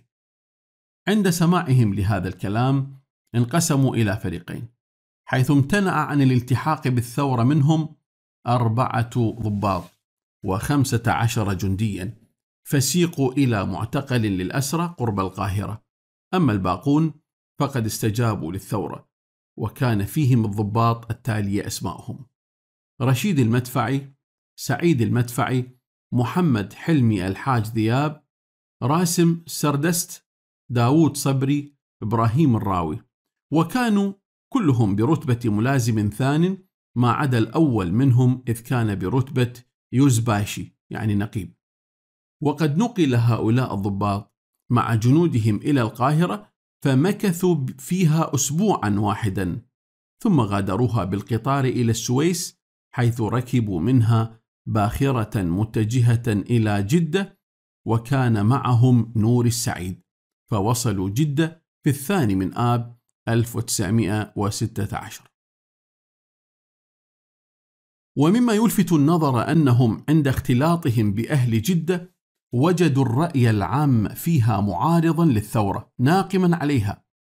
إذ كان آه، يعتبر الثورة كأنها خروج على الإسلام وحلف مع الكفار. وقد وجدوا كذلك الجنود الأتراك الذين استسلموا للثورة في جدة مطلقي السراح يعيشون في البلدة كما يشاءون ويخالطون سكانها. وكان لهؤلاء الجنود أثرهم في توجيه الرأي العام في جدة. ولما خالطهم الجنود العراقيون الذين جيء بهم من الهند تأثروا بهم وندموا على التحاقهم بالثورة. فقد كان الجنود الأتراك يقولون لهم كيف ولماذا يا أخي المسلم تحارب أخاك المسلم جنبا لجنب مع الإنجليز الكفار؟ أصدر الشريف حسين. طبعا هذه من كتاب إبراهيم الراوي ذكريات بيروت 1969 صفحة 22 أصدر الشريف حسين أمره تلفونيا من مكة بتعيين نور السعيد وكيلا للقائد العام لقوات الثورة. وقد أدرك نور السعيد خطورة الجنود الأتراك الموجودين في جدة فأمر بجمعهم وإيداعهم في معتقل خاص آه، وتشديد الحراسة عليهم لكي يمنع تأثيرهم على الرأي العام في جدة وعلى الجنود العراقيين فيها. يبدو أن هذا الإجراء الذي قام به نور السعيد قد جاء بعد فوات الأوان، فقد ظل الجنود العراقيون متأثرين بما أوحى به إليهم الجنود الأتراك، وأعلنوا رفضهم للانضمام إلى الثورة، وصاروا يهتفون بالهتاف التركي الذي تعلموه في سلك الجندية. باديشا هم تشوق يشا حاول نور السعيد إقناعهم فلم يؤثر فيهم شيئا وأصروا على العودة إلى معتقل الهند الذي أتوا منه. واتصل نوري بالشريف في مكة تليفونيا يخبره بجلية الأمر. فكان جواب الشريف يا ابني نحن اللي اللي ما يبغانا ما نبغاه. أي أن الذي لا يرغب فينا لا نرغب فيه. وعرض الشريف عليهم أن يأتوا إلى مكة ما داموا قريبين منها فيؤدوا العمرة فيها ثم يعودون ليذهبوا إلى المحل الذي يريدون. وقد ذهب الجنود إلى مكة فعلا فاعتمروا فيها ثم عادوا إلى جدة ومنها نقلوا إلى حياة الأسر من جديد. لم يبق من الجنود في ظل آه، من ظل من ظل مع الثورة سوى ستة, ستة فقط. فساروا مع ضباطهم إلى مكة وقد جرى لهم هناك استقبال رسمي شارك فيه الموظفون وأعيان مكة. يقول إبراهيم في مذكراته وهو من جملة الضباط الذين وصلوا إلى مكة مع الجنود الستة أنه وجد الرأي العام في مكة على منوال ما وجده في جدة إذ أن الكثير من سكانها ولا سيما غير العرب منهم كانوا ساخطين على الشريف حسين لتحالفه مع الإنجليز والفرنسيين ومحاربته الأتراك. وقد عتب الراوي في مذكراته على أهل مكة وأخذ يناقشهم ويحتج عليهم حيث وصف تقاعسهم الحالي عن نصرة الشريف حسين بمثل تقاعسهم القديم عن نصرة الرسول وعن نصرة ابن بنته الحسين.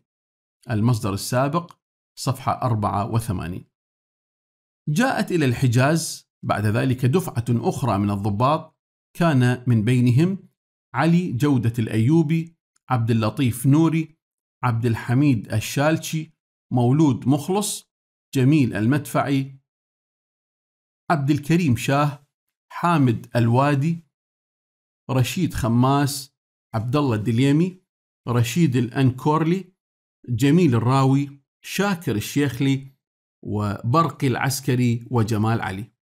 حاول الإنجليز إقناع بقية الأسرى في سمربور على الالتحاق بالثورة فلم يوفقوا. وكان رأي بعض الأسرى أن هذه بئر لا يعرف قرارها فكيف نرمي أنفسنا بها؟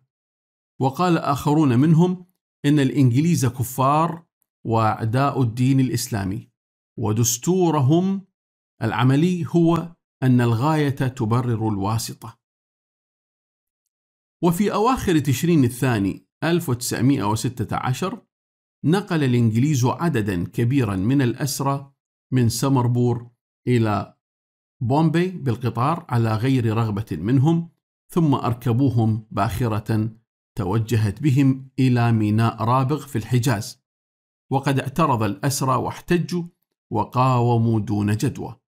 وفي رابغ خرج إليهم رجل يخطب فيهم ليحرضهم على الالتحاق بالثورة ثم قابلهم الأمير علي محاولا إقناعهم وشرح لهم القضية العربية كما حاول إقناعهم بعض الضباط الذين التحقوا بالثورة من قبل ولكن الأسرى أصروا على الامتناع وعاندوا عنادا شديدا ولم يرضخ منهم سوى ضابطين وبضعة وعشرين جنديا.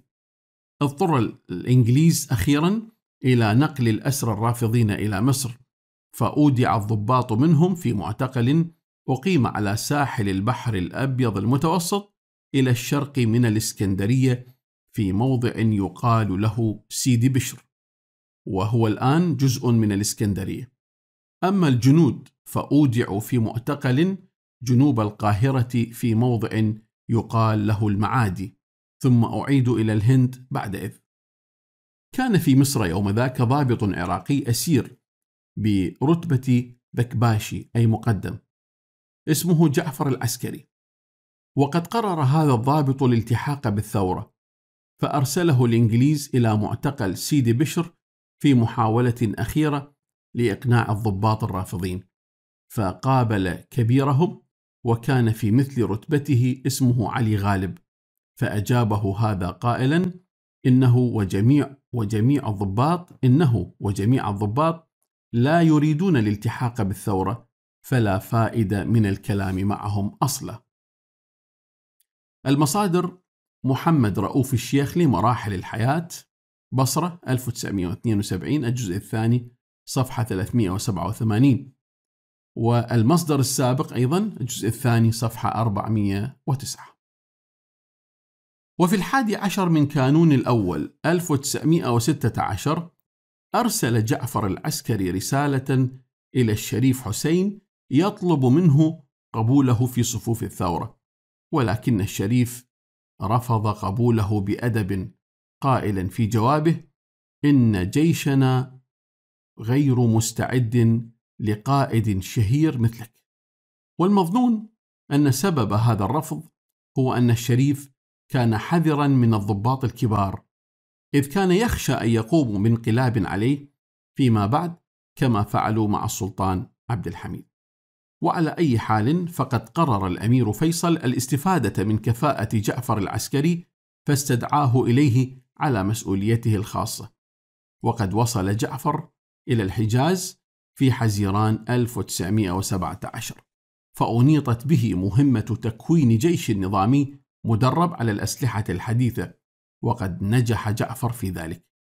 يقول لورنس إن التحاق جعفر العسكري بالثورة كان بمثابة نجدة ضخمة له.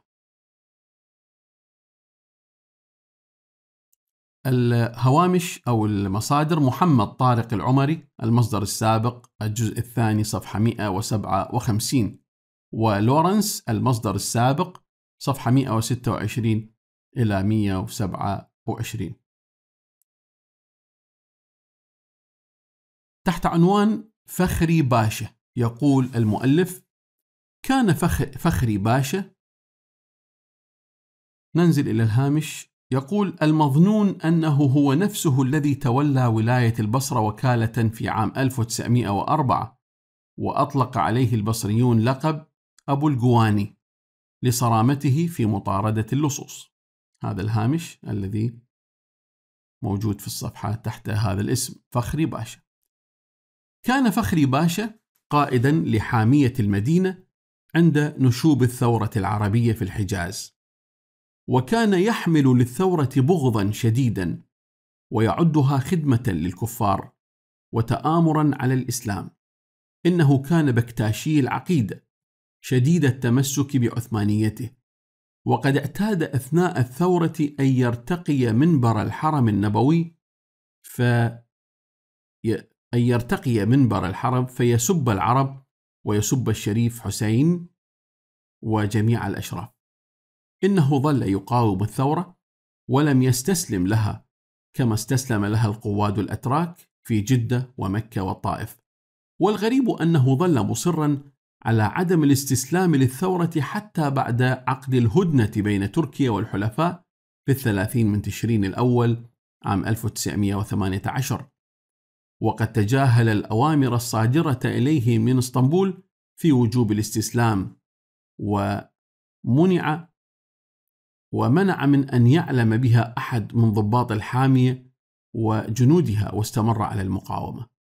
أرسل المندوب السامي في مصر السير ريجنالد آه، وينجيت كتابا آه، إلى فخري باشا يقول فيه إن الأتراك قد هزموا وأن الشام قد احتلت. وأن مسؤولية الدماء بعد الآن ستقع عليك شخصيا إن لم تسلم. فأجابه فخري باشا بما نصه إلى جناب الجنرال ريج ريجنالد وينجيت بمصر. أنا عثماني أنا محمدي أنا ابن بالي بيك وأنا جندي وأرخ.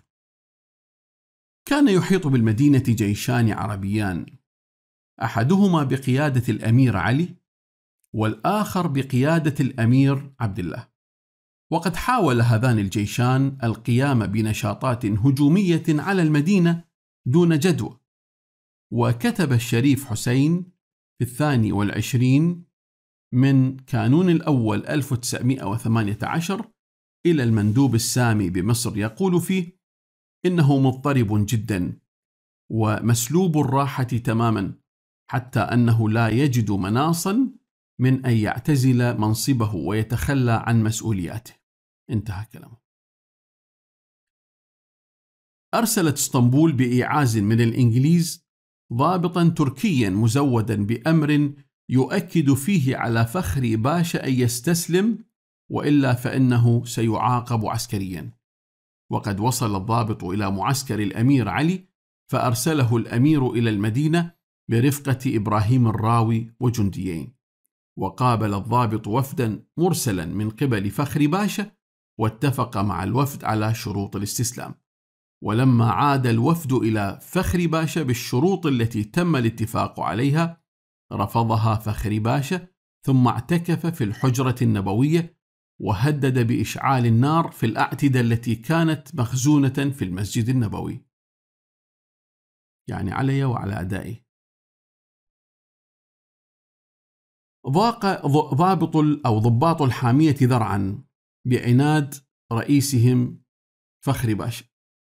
وفي صباح العاشر من كانون الثاني 1919 اضطروا إلى الدخول عليه في الحجرة النبوية وأمسكوا به يرجونه أن يركب السيارة التي أعدوها له في باب المسجد.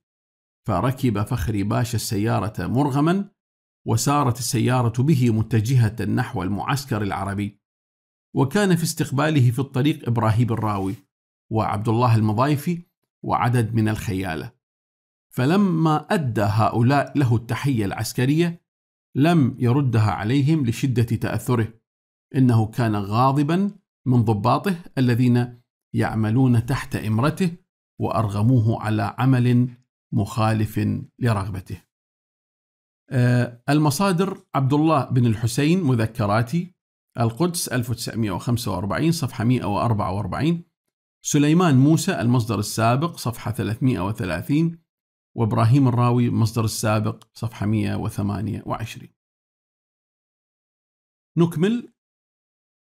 وصل فخري باشا بالسيارة إلى مقر الأمير عبد الله ويقول الأمير في مذكراته أن فخري باشا حياه عند وصوله تحية الدراويش بأن رفع يده إلى صدره ثم جلس بعد إذن آه، جلسة المقيت المقيت الغضيب وقد بادره الأمير عبد الله بالكلام قائلا إننا عرفناك شجاعا في الحرب وأثناء الحصار وإننا ليسرنا أن نراك صبورا على هذه المصيبة مصيبة الأسر. ففرك فخري باشا يده وقال ما معناه إنه لا يعارض تشكيل دولة عربية فقال له الأمير عبد الله لقد عارضت وانتهت المعارضة ثم التفت فخري باشا إلى إبراهيم الراوي يسأله هل كنت معنا؟ أي هل كنت ضابطا في الجيش العثماني؟ وكأنه كان يعاتبه على انضمامه إلى الثورة العربية فأجابه الراوي كنت معكم إلى أن أعلن صاحب الجلالة استقلال البلاد العربية فالتحقت بأمتي. خرج فخري باشا بعد إذن مع الأمير عبد الله فركب السيارة وأخذ الأمير يتبسط معه بالحديث بلباقته المعهودة وقدم له فخري باشا ناظوره العسكري هدية له فأهداه الأمير عبد الله مقابل ذلك الأمير عبد الله مقابل ذلك ساعة مذهبة آه، ذات غطاء مغلف بالميناء الأزرق وقد كتب على أحد وجهيها هذان البيتين. هذان كتب هذين البيتين المفروض. لي خمسة أطفي بهم حر الجحيم الحاطمة المصطفى والمرتضى وابناهما وفاطمة. وقد فرح فخري باشا بهذه الهدية غاية الفرح والظاهر أن هذا البيت المكتوب على الساعة أثار عواطفه البكتاشية ومس أوتار قلبه ذلك لأن البكتاشيين يقدسون الخمسة أهل العبا تقديسا مفرطا وقد جعلوا شعارهم كفا مفتوحة إذ يرمزون أصابعها الخمسة إلى أولئك الخمسة. وعند وصول فخري باشا إلى المعسكر العربي وجد سرية نظامية من راكبي البغال عددهم 250 جنديا وهم مصطفون لأداء التحية العسكرية له. ف فزرر فخري باشا معطفه ورد التحية عليهم بمثلها وقال بالتركية هرشي أولمش بتمش أي كل شيء وقع وانتهى. ثم التقى بعد إذن بالأمير علي وكان لقاؤهما مزيجا من العتب والعداء والشيء الظاهر من البرود. وبعد شرب القهوة ذهبوا به إلى خيمة أعدت له خاصة وكانت خيمة كبيرة من ذوات الأربعمائة رطل تكريما له. وسأله الأمير عبد الله هل يأمر الباشا أن نحضر إليه من يحب من الضباط الذين كان يألفهم؟ فأجاب فخري باشا اترك هؤلاء الخائنين لا أريد أحدا منهم. وفي اليوم الثاني سافر فخري باشا بسيارته إلى ينبع ومن هناك نقل بطرادة خاصة إلى المعتقل بمصر. وفي اليوم نفسه ذهب الأمير عبد الله إلى المدينة مع حاشية صغيرة ثم توجه بصحبة إبراهيم الراوي ومحمد حلمي إلى مطعم الضباط التركي وهناك وجه الأمير إلى الضباط هذا السؤال كيف كنتم تحاربوننا وأنتم تدعون لنا في الأوقات الخمسة بالصلاة بقولكم اللهم صل على محمد وعلى آل محمد من هم آل محمد؟ ألسنا نحن؟ فأخذ الضباط الأتراك ينظر بعضهم إلى بعض ويبتسمون إن هذه المحاورة على قصرها تعطينا صورة واضحة عن اختلاف وجهة النظر بين العرب والأتراك أثناء الثورة. فالأتراك كانوا يعتقدون أن الحق معهم لأنهم يمثلون الخلافة الإسلامية وأن العرب عصاة مارقون بينما كان العرب يعتقدون أنهم أولى بالإسلام وبالحق من الأتراك وكل حزب بما لديهم فرحون. المصادر إبراهيم الراوي المصدر السابق صفحة 129 وعبد الله بن الحسين المصدر السابق صفحة 151 وإبراهيم الراوي المصدر السابق صفحة 130 إلى هنا ننهي الفصل الثاني. نتبعه إن شاء الله بالفصل الثالث أحوال العراق أثناء الحرب. فإلى هناك.